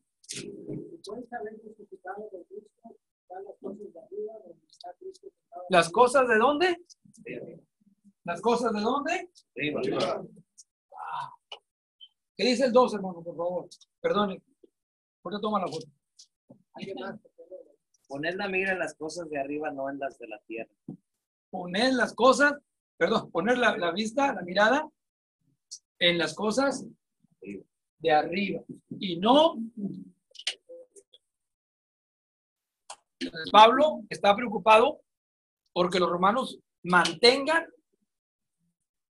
ese enfoque. ¿Sí, verdad? No, aquí estoy todavía. Yo tengo fe que me voy a ir al. Sí, sí, sí. Bien. ¿Perdón? Hermana, borre esa. Dios la perdone. Borre esa, hermana, perdónenme. Díganme cuando vayan a tomar fotos para quitarme, hermano. Eh, sí, ¿verdad? Bueno, nada más no lo suban al Facebook, que me la publicidad. Eh, nosotros tenemos que pensar en las cosas de dónde? De arriba. ¿Qué quiso decir Pablo con eso? ¿Qué le quiso decir Pablo con eso a los colosenses? ¿Qué les quiso decir? Pongan los ojos, pongan la mirada en las cosas de arriba y no en las de la tierra. Hagan la diferencia de una vida carnal a una vida espiritual. Se tiene que ver la diferencia. Tiene que haber una diferencia. La hay. Se nota esa diferencia. El que es del espíritu piensa en las cosas del espíritu. En otras palabras, mira hacia arriba. Que es de la carne piensa en las cosas de la carne y en las cosas de la tierra. Ahora, cuando dije del prime time hace un momento, ahí podemos nosotros determinar cuando una persona está más preocupada por una cosa que de otra. Y se pierden a veces las cosas que tenemos en prioridades. Se nos descomponen las prioridades. Es bien fácil que las prioridades se nos descompongan, porque tenemos que tener en primer lugar a Dios. Dios siempre debe estar en primer lugar. Él lo demanda. Él lo dijo en los mandamientos. Ahí está, ahí está grabado. Jesús lo, repitió. Amén. Amarás al Señor tu Dios con todo tu corazón, con toda tu alma, con toda tu mente, con todas tus fuerzas. Entonces, Dios debe estar en primer lugar. Yo no puedo decir, no tuve tiempo de orar, no tuve tiempo de leer la Biblia, no tuve tiempo de ir al culto, no tuve tiempo de, no tuve, todo lo de Dios tiene que tener primer lugar. Primer lugar. Primer lugar. Entonces, analizando mis prioridades, ya yo me doy cuenta cómo está mi corazón, cómo estoy yo, cómo está mi vida. Entonces, el cristiano de ahí tiene que partir. ¿Cómo están mis prioridades? Entonces, volviendo a lo que estábamos diciendo hace un momento sobre la oración, el cristiano puede compensar esa situación de esa manera. Ok, estoy en el trabajo, pero estoy conectado. Estoy conectado con el Señor. Estoy tratando de buscar un trabajo que me facilite estar en el culto, pero mientras que lo encuentro, estoy conectado con Dios en el trabajo. Estoy conectado con Dios, estoy conectado con Dios. No he podido agarrar un trabajo que me permita estar en la iglesia, pero el, el cristiano debe de seguir conectado con Dios, ahí donde se encuentre, donde quiera que esté, donde quiera que esté. Entonces, ¿cuándo se da cuenta el cristiano que ya le está afectando el no ir a la iglesia? ¿Cuándo se da cuenta? Cuando se le comienza a acabar el deseo de leer la Biblia, de orar, de hablarle a otros de Cristo, testificar, y le comienza a acabar el deseo. Entonces, ya cuando ves que se comienza a acabar el deseo, es que realmente el no ir a la iglesia te está afectando mucho. Porque llegas a la casa, nomás te cambias, te arreglas y para el culto. Y llegas del culto y a dormir. Y la Biblia, bien gracias y bien nueva, guardada. Y la oración también guardada. Y a veces ya ni en el corazón, porque andamos pensando, miren hermanos, el corazón, dice Jeremías, es engañoso. El corazón, yo le digo, es ladino. El corazón está en constante movimiento. El constante movimiento. Cuando digo corazón, me refiero al espíritu de uno. Está en constante movimiento. Está pensando en eso, está pensando en aquello, está pensando en acá, está pensando en acá, está pensando allá, está pensando allá. El corazón está así, está así, está así el corazón, está así. Y si usted no lo agarra y lo, y lo dirige hacia donde usted quiere, el corazón se le va a ir. Y cuando usted acuerde, su corazón ya va a estar en otras cosas, en vez de estar en las cosas de Dios. Por eso dijo el salmista, alma mía, alaba a Jehová. Que llega un momento en que uno mismo tiene que, tiene que hacer un esfuerzo para que nuestro corazón esté enfocado en las cosas de Dios. Esté enfocado en las cosas de Dios, metido en las cosas de Dios. Si realmente eso es lo que queremos, ¿verdad?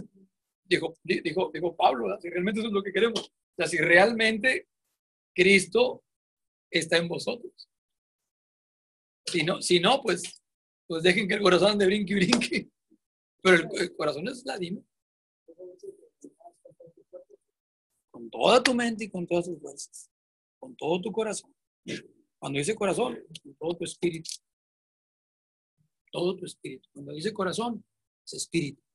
Tu espíritu tiene que estar conectado con Dios, conectado con Dios. Cuando dice corazón, no se refiere a la masa roja que tenemos aquí adentro. Se refiere a tu espíritu, tu espíritu, que anda brinque, brinque, brinque, brinque, brinque, brinque, brinque. Y acá, y allá, y el trabajo, y los pagos, y, las deudas, y, esto, y el otro. Y tu corazón anda que parece, parece trompo. Todo, todo el día, todo el día. Entonces, si tú no lo agarras y lo enfocas y tú no agarras tu corazón y lo enfocas y lo comienzas a redirigir, si agarras la Biblia y pones tu corazón en la Biblia, pones tu corazón en la oración, pones tu corazón en las cosas de Dios, en las cosas del Espíritu, entonces tu corazón se va a ir habituando. Habituando es la palabra. Se va a ir habituando a la presencia de Dios, a buscar las cosas de Dios. Y a Dios la gloria por eso. Condición presente muerte. ¿Pueden caminar los muertos? Sí, si son muertos espirituales. Amén. ¿Qué dice el versículo 6? ¿Otra vez? ¿Alguien lo tiene? Verso 6. Estamos en Romanos, En el capítulo donde estamos. Verso 6. No, no, el verso 6, el capítulo 8. Morimos con Cristo, que creemos que también viviremos con Él. Amén. Si vivimos con Cristo, creemos que también viviremos con Él. Vida y paz. Ahorita vamos al 8. Vida y paz. Cuando estamos en qué? En la gracia, en el Espíritu, en la verdad, en Cristo. Vida en un mundo muerto, paz en un mundo agitado vida en un mundo muerto, piensen eso. Cada vez que usted llega al trabajo, está rodeado de muertos. Está rodeado de puros zombies. ¿Ha visto la película zombies? Yo no. Pero puros muertos. ¿Te das cuenta que, sí o no? Puros zombies del diablo. Son esclavos del diablo. Si llega usted, que es la luz, están en el espíritu, la luz va a resplandecer en las tinieblas, porque usted es luz. Pero si la luz le faltan pilas, si la luz le falta, no sé cuántos se acuerdan de los, de los, de los tanquecitos esos que usaban con la luz, que prendían con, con no eran, tanquecitos de gas, de gas butano, no, no era butano, era gas, petróleo, petróleo. Y ya, y ya nada más, y ya nada más, ya nada más se, se llenaban de, de, de, de- de Disney y ya no se miraba bien. Y a veces nos pasa eso. Que nada más nos llenamos de Disney, ya no usamos nada. Bien, ¿qué dice el versículo 8 otra vez? ¿Alguien lo lea? Y si morimos con Cristo, creemos que también viviremos con Él. Bueno, ya lo habíamos leído ese, ¿no? Vamos, 8, 6 y 8. Sí, ahora el 8. El, el, el 8, 8. Morimos con Cristo, creemos que también No, no, no. 8, capítulo 8, capítulo 8, verso 6 y luego ahora el verso 8. Y los que viven según la carne no pueden agradar a Dios. Ahí está. Los que viven según la carne. Ojo, ojo con esto. Ojo con esto. Los que viven según la carne pueden ser los que están muertos o pueden ser los que ya fueron justificados, pero que no se están santificando cada día. Que vuelven otra vez a andar en la carne. Entonces, andamos según la carne, no podemos agradar a Dios.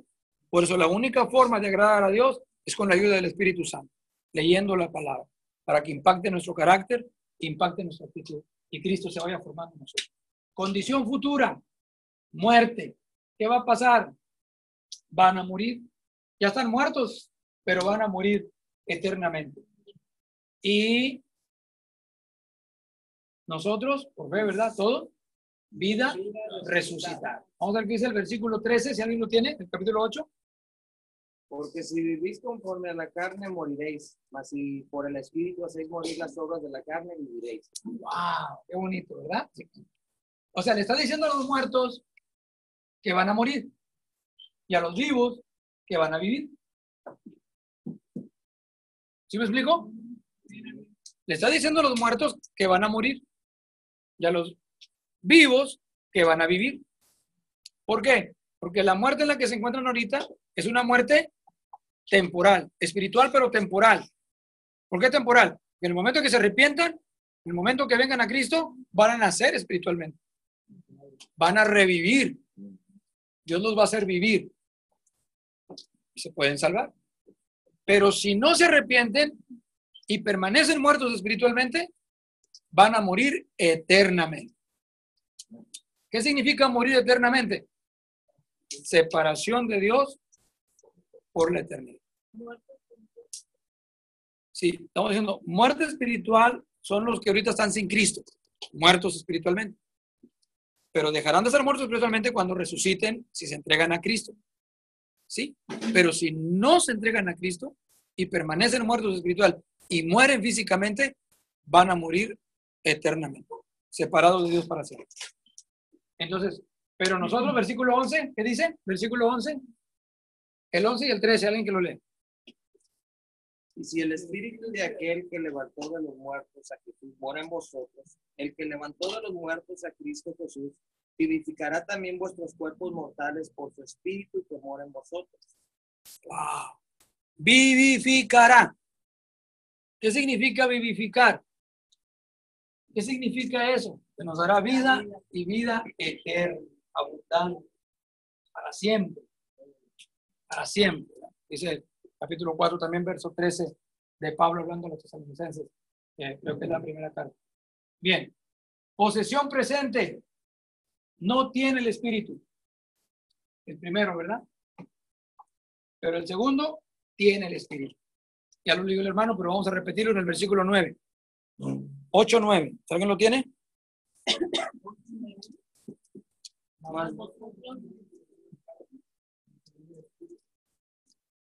Vosotros no vivís según la carne, sino según el espíritu. Si es que, ¿qué? Si es que el espíritu de Dios mora en vosotros. Entonces, unos tienen el espíritu, otros no lo tienen. Entonces, tenemos el Espíritu, somos de Dios. Los que no tienen el Espíritu no son de Dios. Bien. Eh, Ay, otra vez, hermano. Bueno, en relación con la ley de Dios, seguimos en Romanos.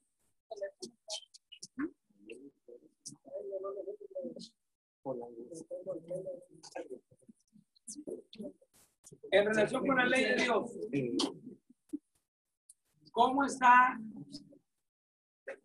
el que es de la carne?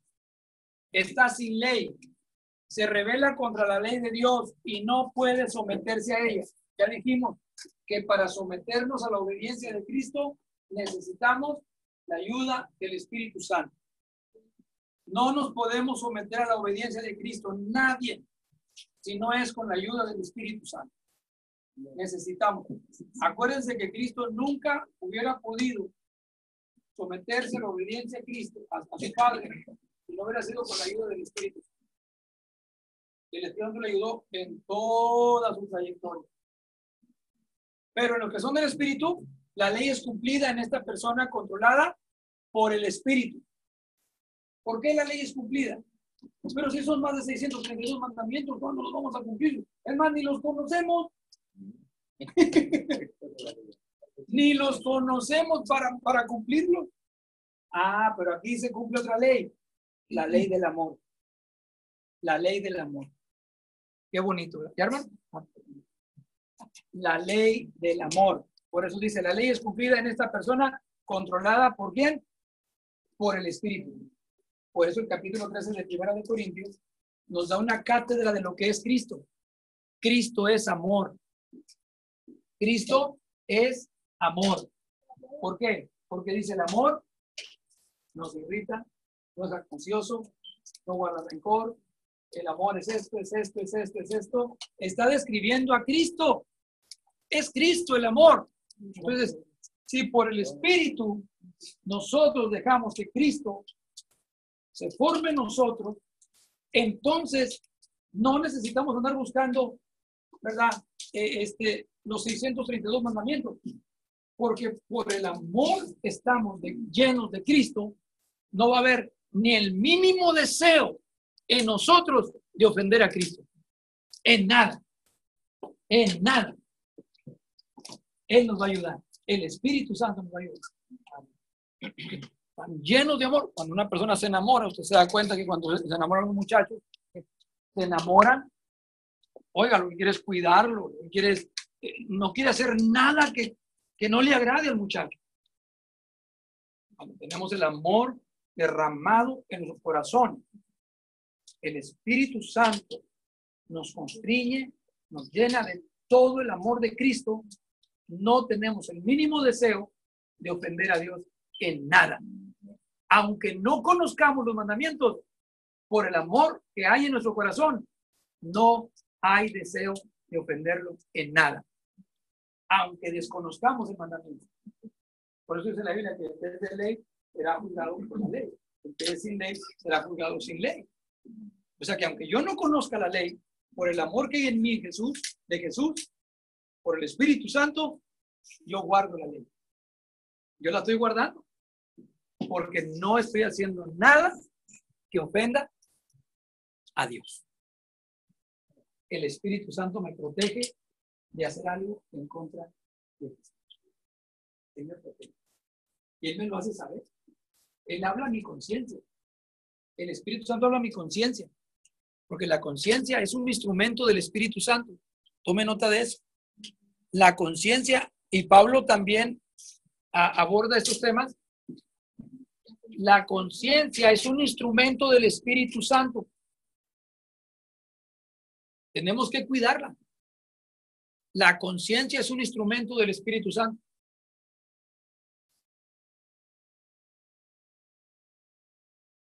Porque cuando usted va a hacer algo, Dios le habla a través de la conciencia.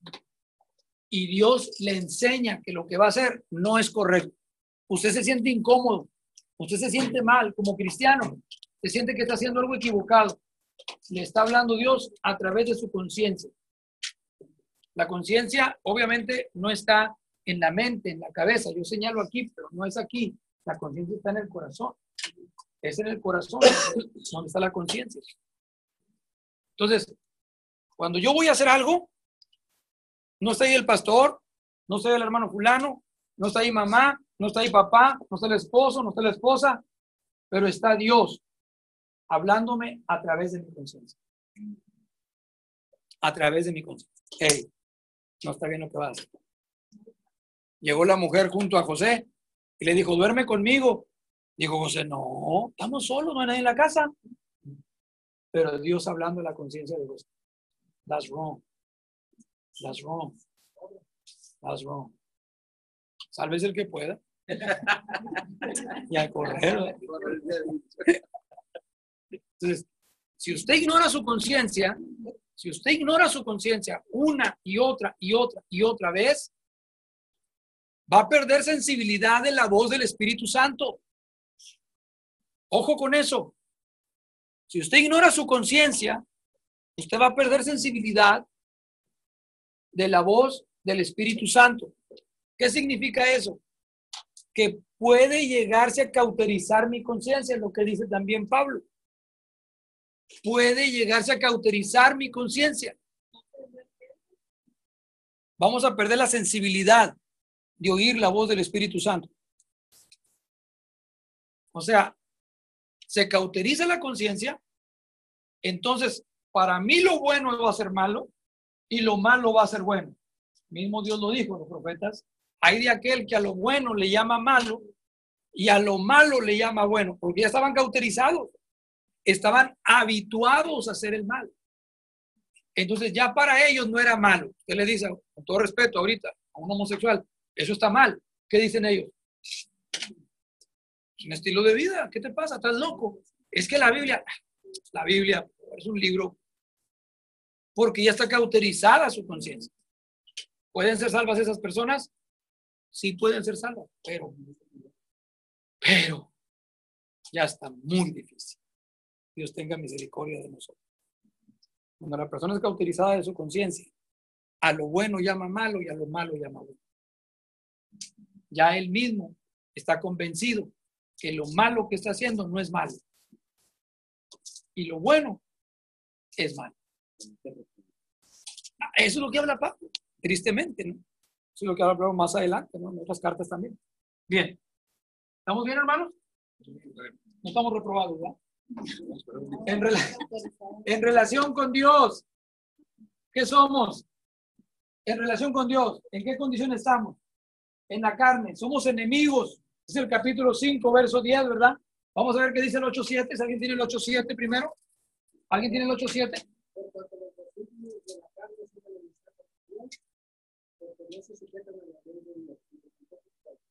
No pueden, porque no tienen la ayuda del Espíritu Santo. ¿Qué dijo Jesús a los discípulos cuando les habló del Espíritu Santo en el capítulo, creo que es el capítulo 14, no me equivoco, no miento, el 16, del, del versículo 8 en adelante? Les dice, vosotros recibiréis el Espíritu Santo. Dice, el mundo no lo puede recibir porque no le ve ni le conoce. No pueden, porque no, no pueden, porque no tienen la ayuda del Espíritu Santo. Y no pueden tener la ayuda del Espíritu Santo porque para conocer al Espíritu Santo, primero necesitas conocer a Jesús. Conoces a Jesús, conoces al Espíritu Santo. No conoces a Jesús, no conoces al Espíritu Santo.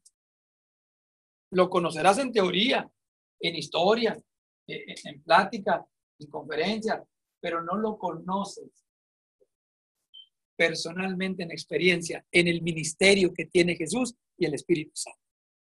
El mundo no lo puede conocer así. Entonces, ¿qué dice el versículo 10 del capítulo 5? Y ahí habla la palabra enemigo. Alguien que lo tenga, por favor.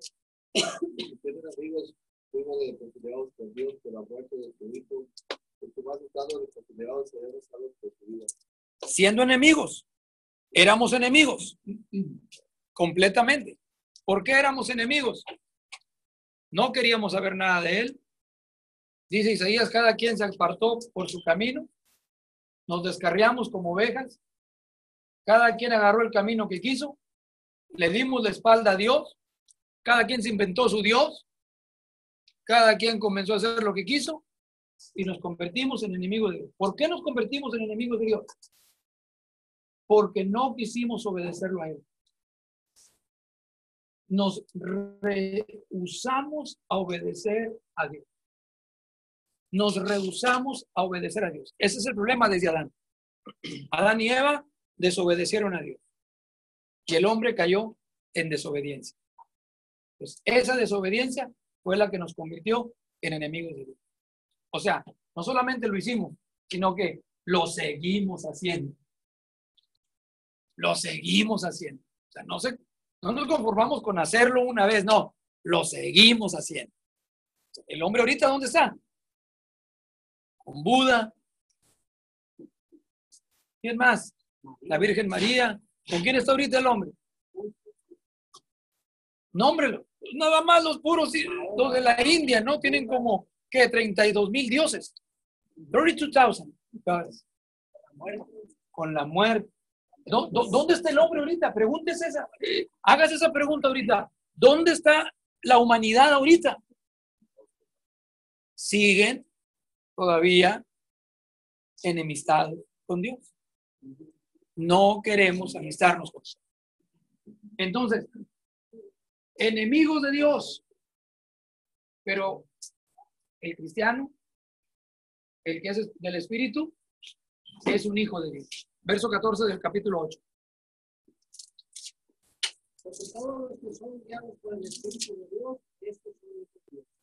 Gloria a Dios. Los que son guiados por el Espíritu de Dios, estos son hijos de Dios. Hijos de Dios. Hijos de Dios. ¿Cuál es la diferencia? que no practicamos el pecado. Ojo en esto, ¿eh? No practicamos el pecado, pero, pero seguimos lidiando con la carne. ¿Qué significa eso en este aspecto? Significa que podríamos cometer un error,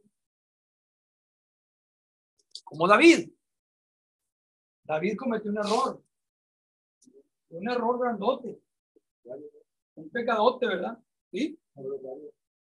Sí, me refiero, me refiero a que el error de él fue que no fue a la guerra. Fue el error de él. No fue a la guerra. Y eso fue lo que desencadenó todo lo demás. Era el año de que los reyes iban a la guerra. No fue, se quedó. Y nomás se quedó a eso. Pero tome, tome nota de esto, porque mire, no es lo mismo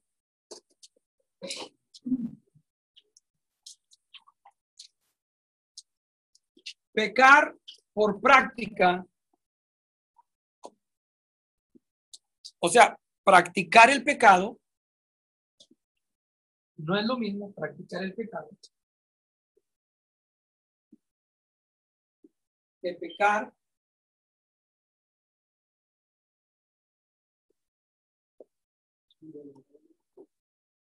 sin el deseo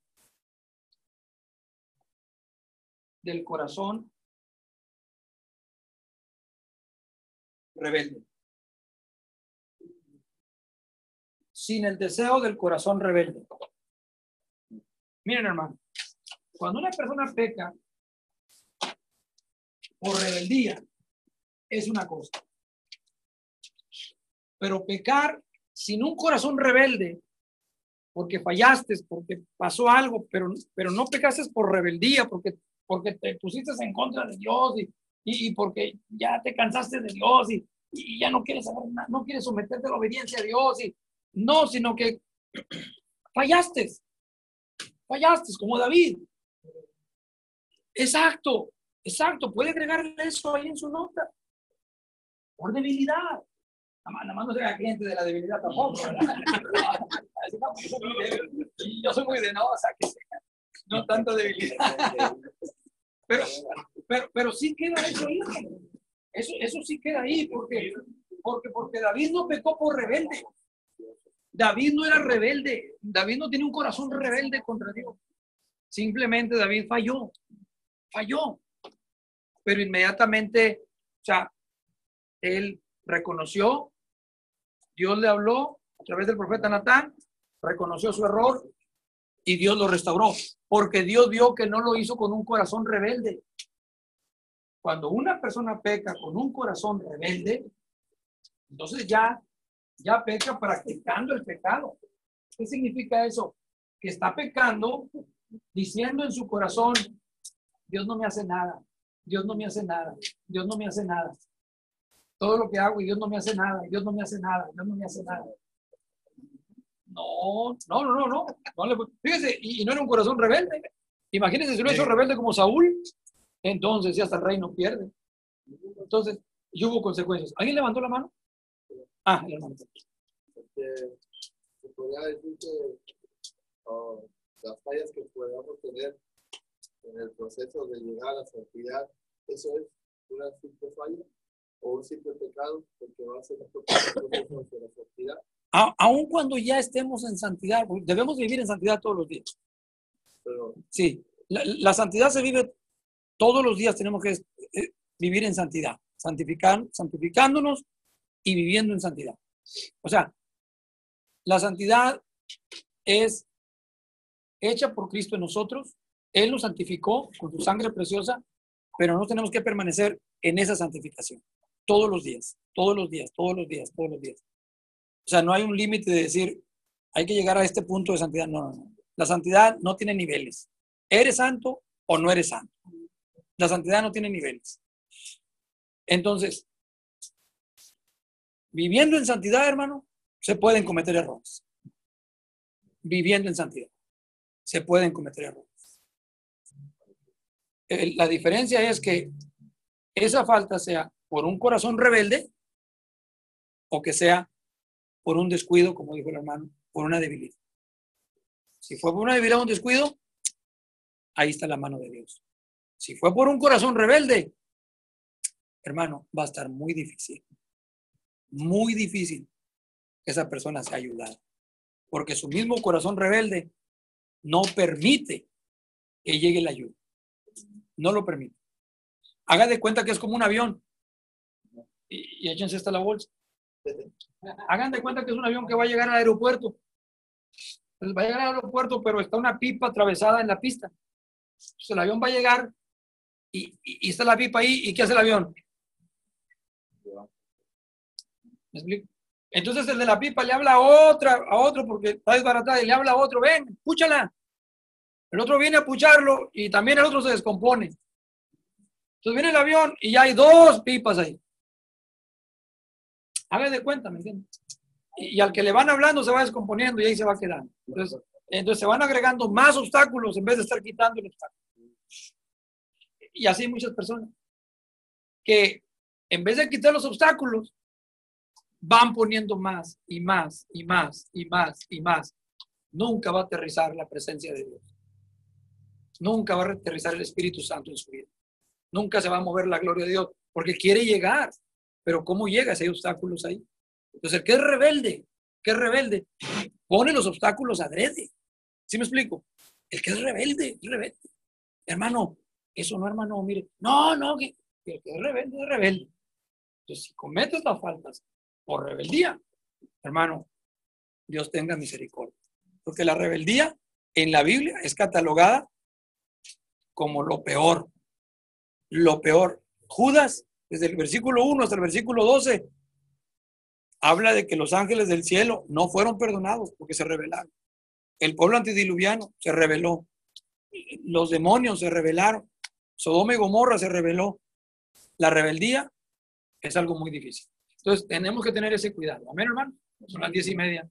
Misma. Dígame, dígame, hermano.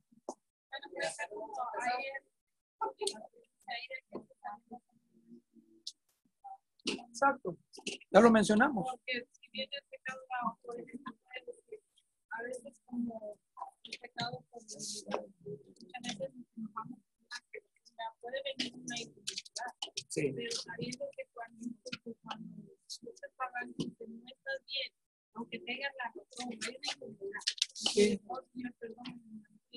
ahí- ahí está el tip. Mire, Ah, Ahí está el tip.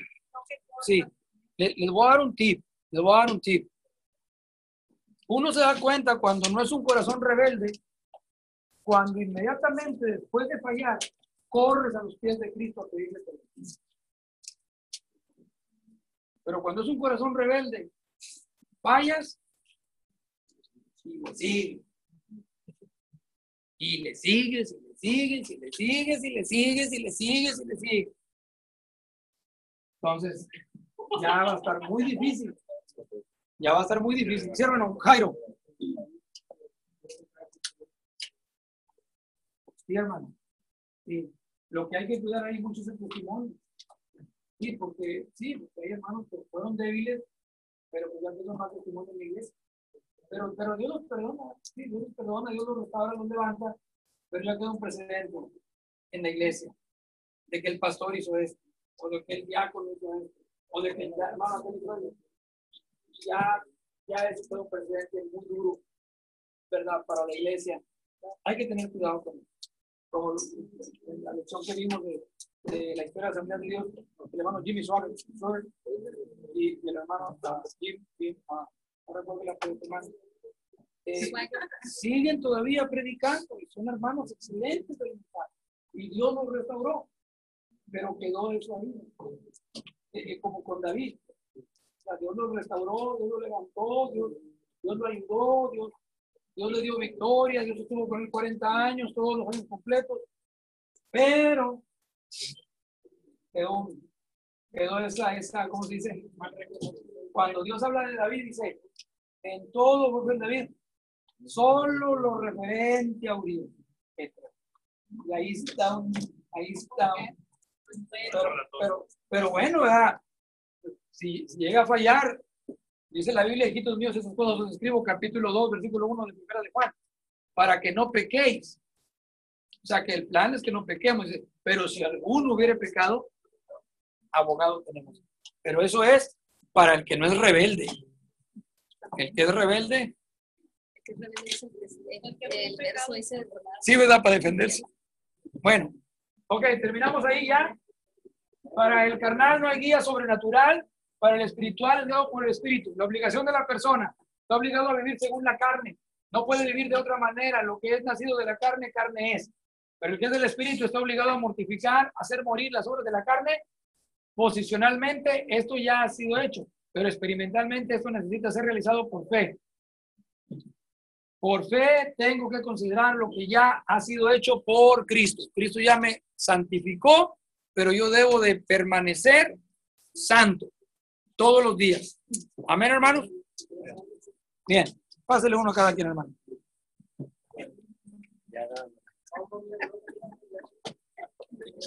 Capítulo 6.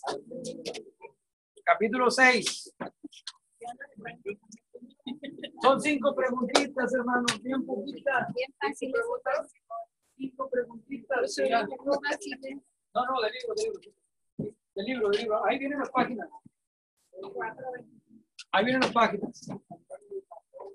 Amén. Oiga, ya se la aprendió. Sí, ¿verdad? Ya nos está empezando a caer que Y...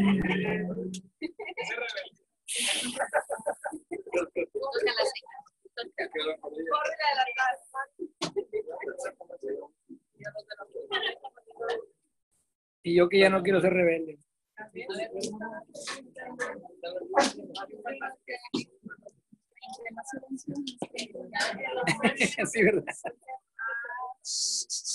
Menos música y más acción. Aquí están. ¿Quién les falta? La lista.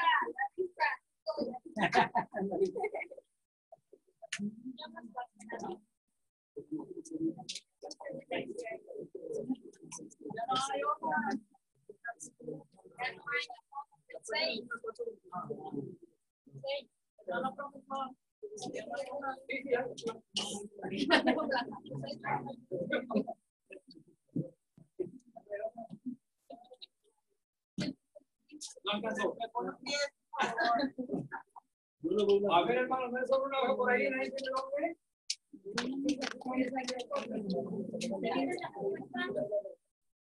¿Cuántos faltaron? ¿Nada una?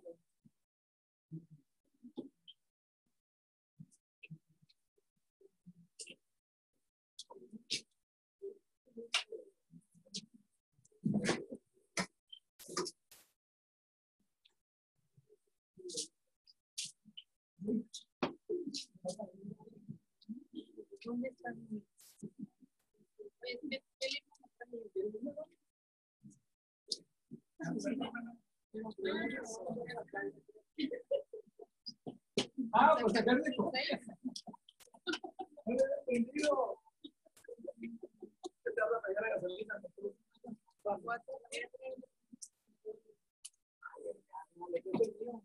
Ah, no, ya no respuesta.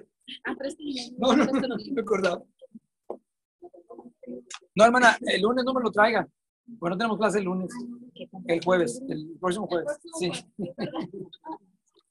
Bueno, si lo trae el lunes, aquí me lo ponen ahí en mi cajón. Pero si lo entrega ahorita, mire, se va free. Pero pues, Gloria a Dios, aleluya.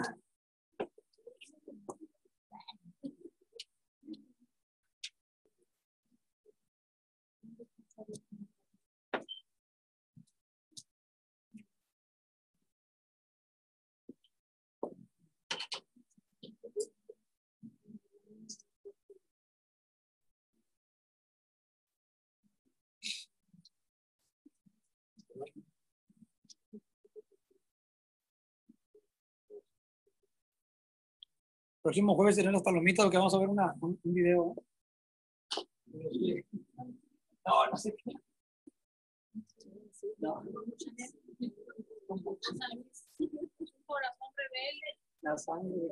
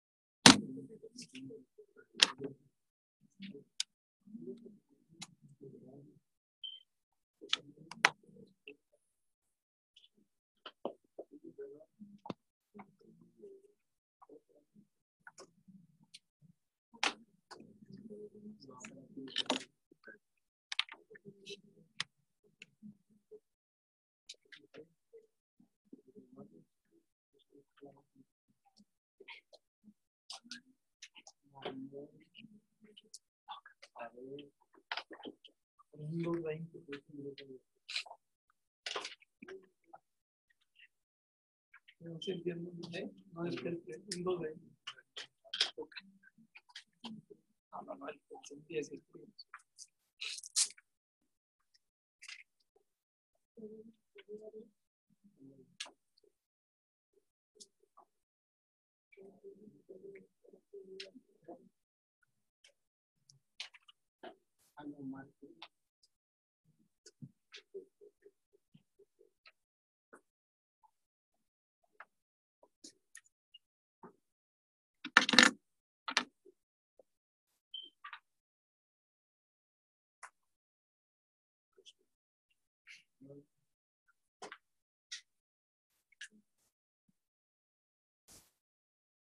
una respuesta que está un poco larguita, ¿eh? No se confíen.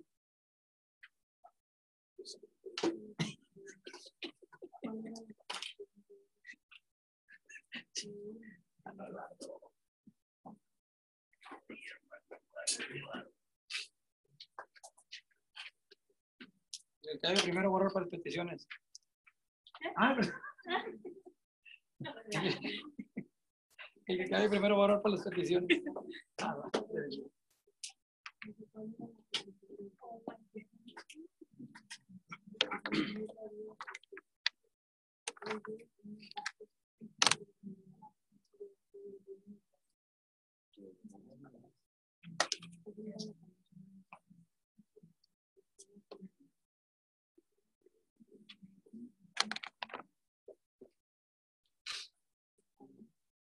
Acuérdense que si le ayuda a alguien y tienen la misma respuesta, y está bien, ya la hicieron, pero si está mal. Ya fueron tres pajaritos que cayeron. No.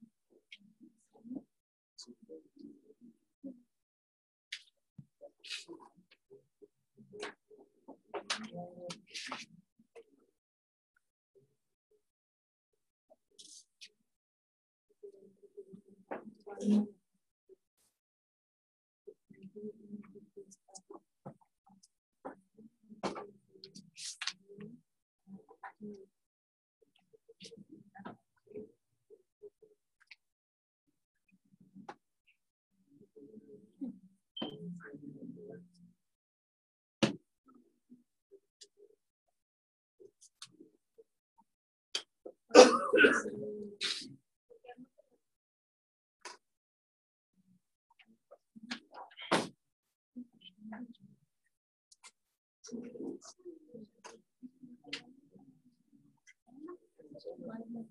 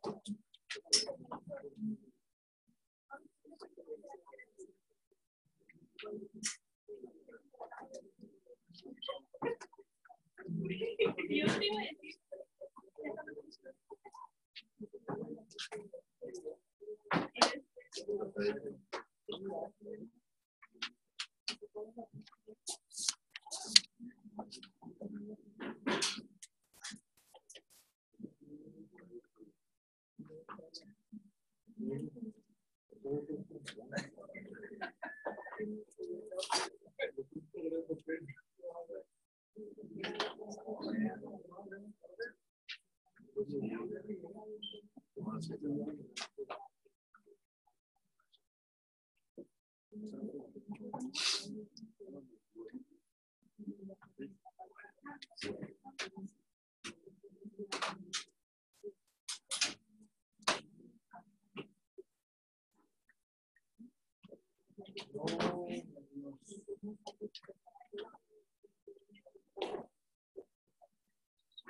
Listo, bendiga. Thank you.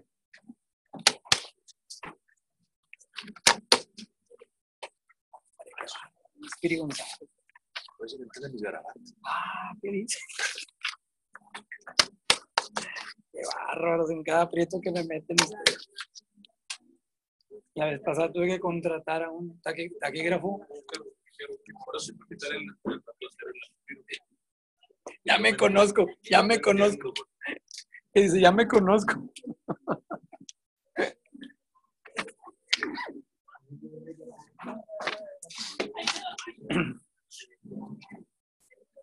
Me robé solo. Si oyen su nombre, díganme amén, hermanos, o aus o algo. Marvin Aguilar. Ansaldúa Ismael.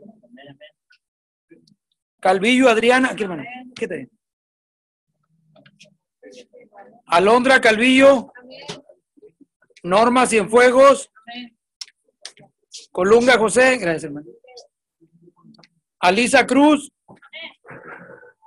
Cruz Mayolo. De la Peña Rosalinda. Delgado María. Esparza Juan. Héctor Flores. Flores San Juanita.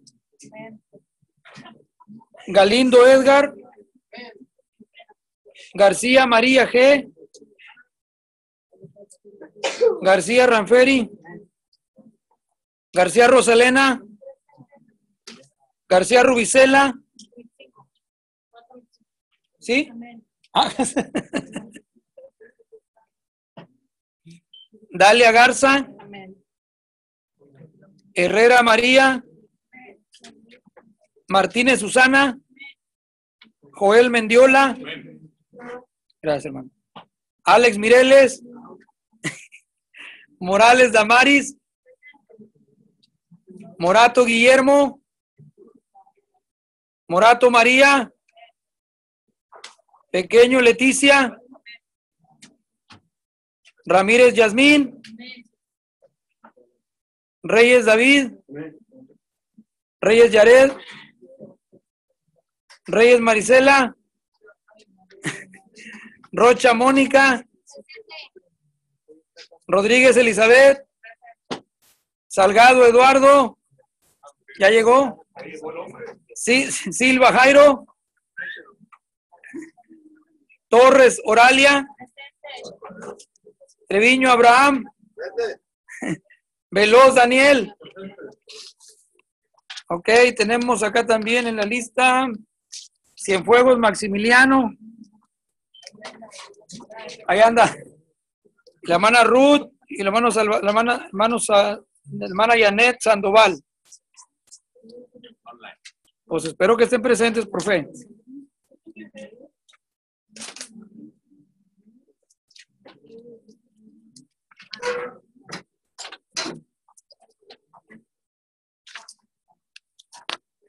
¿Cómo van, hermanos? No, hombre, les queda bastante tiempo, hermanos, todavía. Nada más que se acaba a las 10 la clase.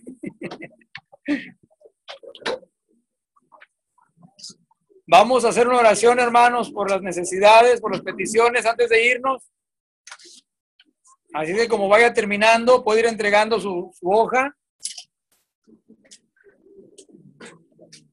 Hay necesidades, tiene algún familiar enfermo en el hospital, tiene alguna necesidad en su casa. Vamos a orar. Está batallando para pagar las colegiaturas. Dios es un Dios suplidor. Amén. Está batallando para perdonar a alguien. El Espíritu Santo nos ayuda a perdonar. Amén. Líbranos del mal. No nos metas en tentación. Amén. Más amor. Amén. Uno puede orar así, hermano, cuando oren. Señor, Señor, dame más de tu humildad, dame más de tu, de tu ah, mansedumbre, dame más de tu, de tu pureza, dame más, dame más de tu humildad. Uno puede orar así, hermano, en su corazón. Gracias, hermano. Le bendiga. Uno puede orar así. Su mami. Vamos a orar. Antes de irnos, en nombre de Cristo, que Dios nos ayude, que Dios tenga misericordia. Saben que hay un pasaje en la Biblia, los que ya acabaron, ¿verdad? Que habla de Jesús. Y dice, es, es, la única parte donde dice eso de Jesús. Es la única parte donde dice eso de Jesús. Gracias, hermano. ¿Más? ¿Eso no? Es la única parte donde dice eso de Jesús. Dice, y Jesús se asombró. La única parte donde dice eso de Jesús. Jesús se asombró por la incredulidad de ellos. Se asombró. Y, wow, Jesús se asombró. Ya para que Jesús se haya asombrado. Dice, Jesús se asombró de la incredulidad de ellos. Hay muchos cristianos, hermanos, que no tienen fe. No tienen fe. O sea, tienen fe en su fe, pero no tienen fe en Jesús. Y a veces dicen, yo tengo mucha fe, mi fe es grande. Sí, porque tienen su fe en su fe. No tienen su fe en Jesús. Y Jesús no te va a sanar porque tú tengas fe en tu fe. No, te va a sanar porque tienes fe en Jesús. Y muchas veces nosotros no tenemos fe. No tenemos fe. Necesitamos pedirle a Dios que nos dé fe, que nos dé un avivamiento de fe en las iglesias. Un avivamiento, gracias hermano. Un avivamiento de fe en nuestras vidas. Un avivamiento de fe. Dice la Biblia, la fe es ¿de qué? La certeza de lo que se espera, la convicción de lo que no se ve, de lo que no se ve. Y muchos cristianos en la iglesia no tienen fe. Necesitamos fe, hermano. Necesitamos fe. Si Jesús volviera a pasar por mi templo, por su templo, a lo mejor se asombraría por tanta incredulidad. Se asombraría por tanta incredulidad. Necesitamos tener fe, tener fe, tener fe, tener fe, tener fe, tener fe, tener fe en Dios, creer con todo el corazón. La fe, la fe es depositar toda nuestra confianza total en el poder de Jesús, en su palabra. Eso es fe. Depositar toda nuestra confianza en Él. Que cuando oremos en el nombre de Jesús, no hagamos otra cosa más que confiar que ya el Señor se está encargando de las vidas. Ya. Una vez oraron por un hermano y el hermano se cayó y se le cayeron las pastillas, todas se desparramaron, un poquito de pastillas que traía. Y se levantó y las comenzó a recoger. Y le dijo un hermano que estaba ahí, ¿para qué las recoges? Dios ya te sanó. Dice, no, por, por, por si las, digo, por si las, digo, no me las voy a llevar, por, por si las moscas. O sea, realmente, realmente no estaba confiando en que Dios había hecho la obra en su cuerpo. Tenemos que tener fe, tenemos que tener fe. Tenemos que tener fe en Jesús. Tenemos que tener fe en Jesús. Hay que creer, hermanos. Hay que creer. Hay que creer. Hay que creer con todo nuestro corazón. Con todo nuestro corazón. Dice la Biblia que le traían a Jesús todos los enfermos de muchos lugares y a todos los sanó. A todos los sanó. No quedó uno sin sanar. No quedó. Ni uno. Entonces nosotros tenemos que tener fe en el Señor Jesucristo. Amén. ¿Cuántos faltan? Ah. Creamos, hermano. No se dé por vencido antes de orar. No se dé por vencido antes de orar. Tenga fe en el Señor. Les voy a platicar algo rapidito que me sucedió a mí. Una mañana me levanté y fui al baño a ser number one. Porque yo soy el number one. No, no es cierto. No, this is, this, this is a testimony. Es un testimonio. Y cuando fui a ser number one, escuchen, escuchen, escuchen. Arrojé dos coágulos de sangre. Dos coágulos de sangre. Grandes. Con un dolor terrible.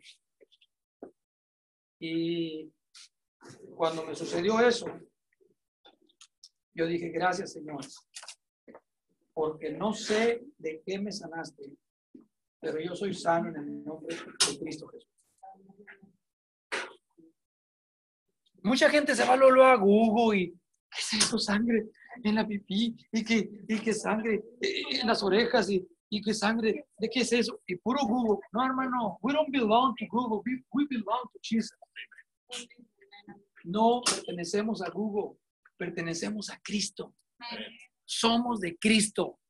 Que Cristo diga, que Cristo haga el análisis y que Cristo nos sane.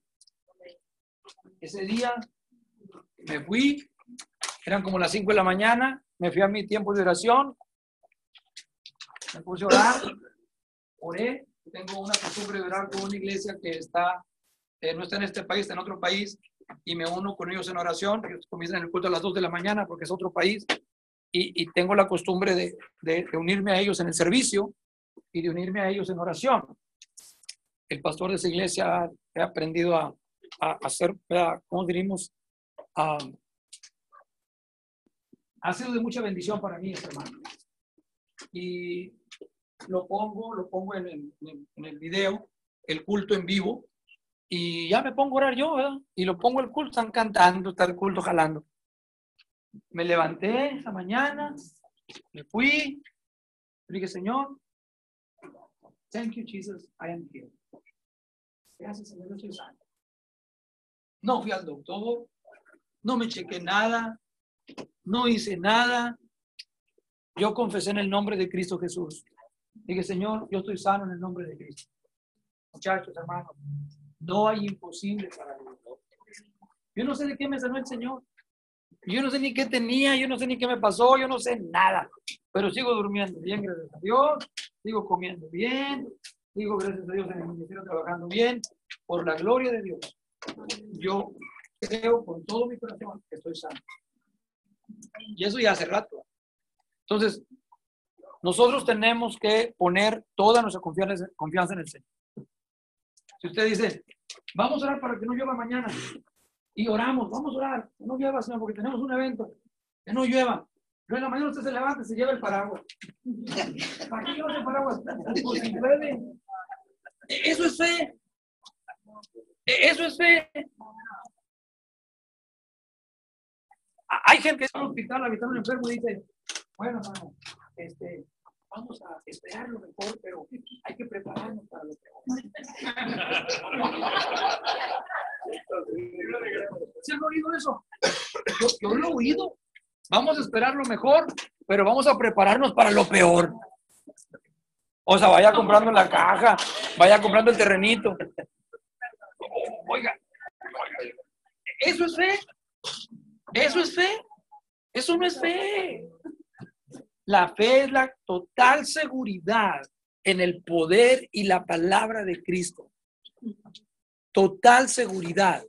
Los muchachos tengan confianza en el Señor, pongan toda su fe en Cristo. El problema, la lucha, la enfermedad nos podría doblar, pero que la fe nos levante. Que la fe nos levante en el nombre de Cristo. En el nombre de Cristo. No vivimos porque nosotros queremos, vivimos por la voluntad de Dios. Somos un milagro caminando. Somos el milagro de Dios andando. Amén. No sé si la hermana tenga alguna palabra. Sí, ah, para el próximo lunes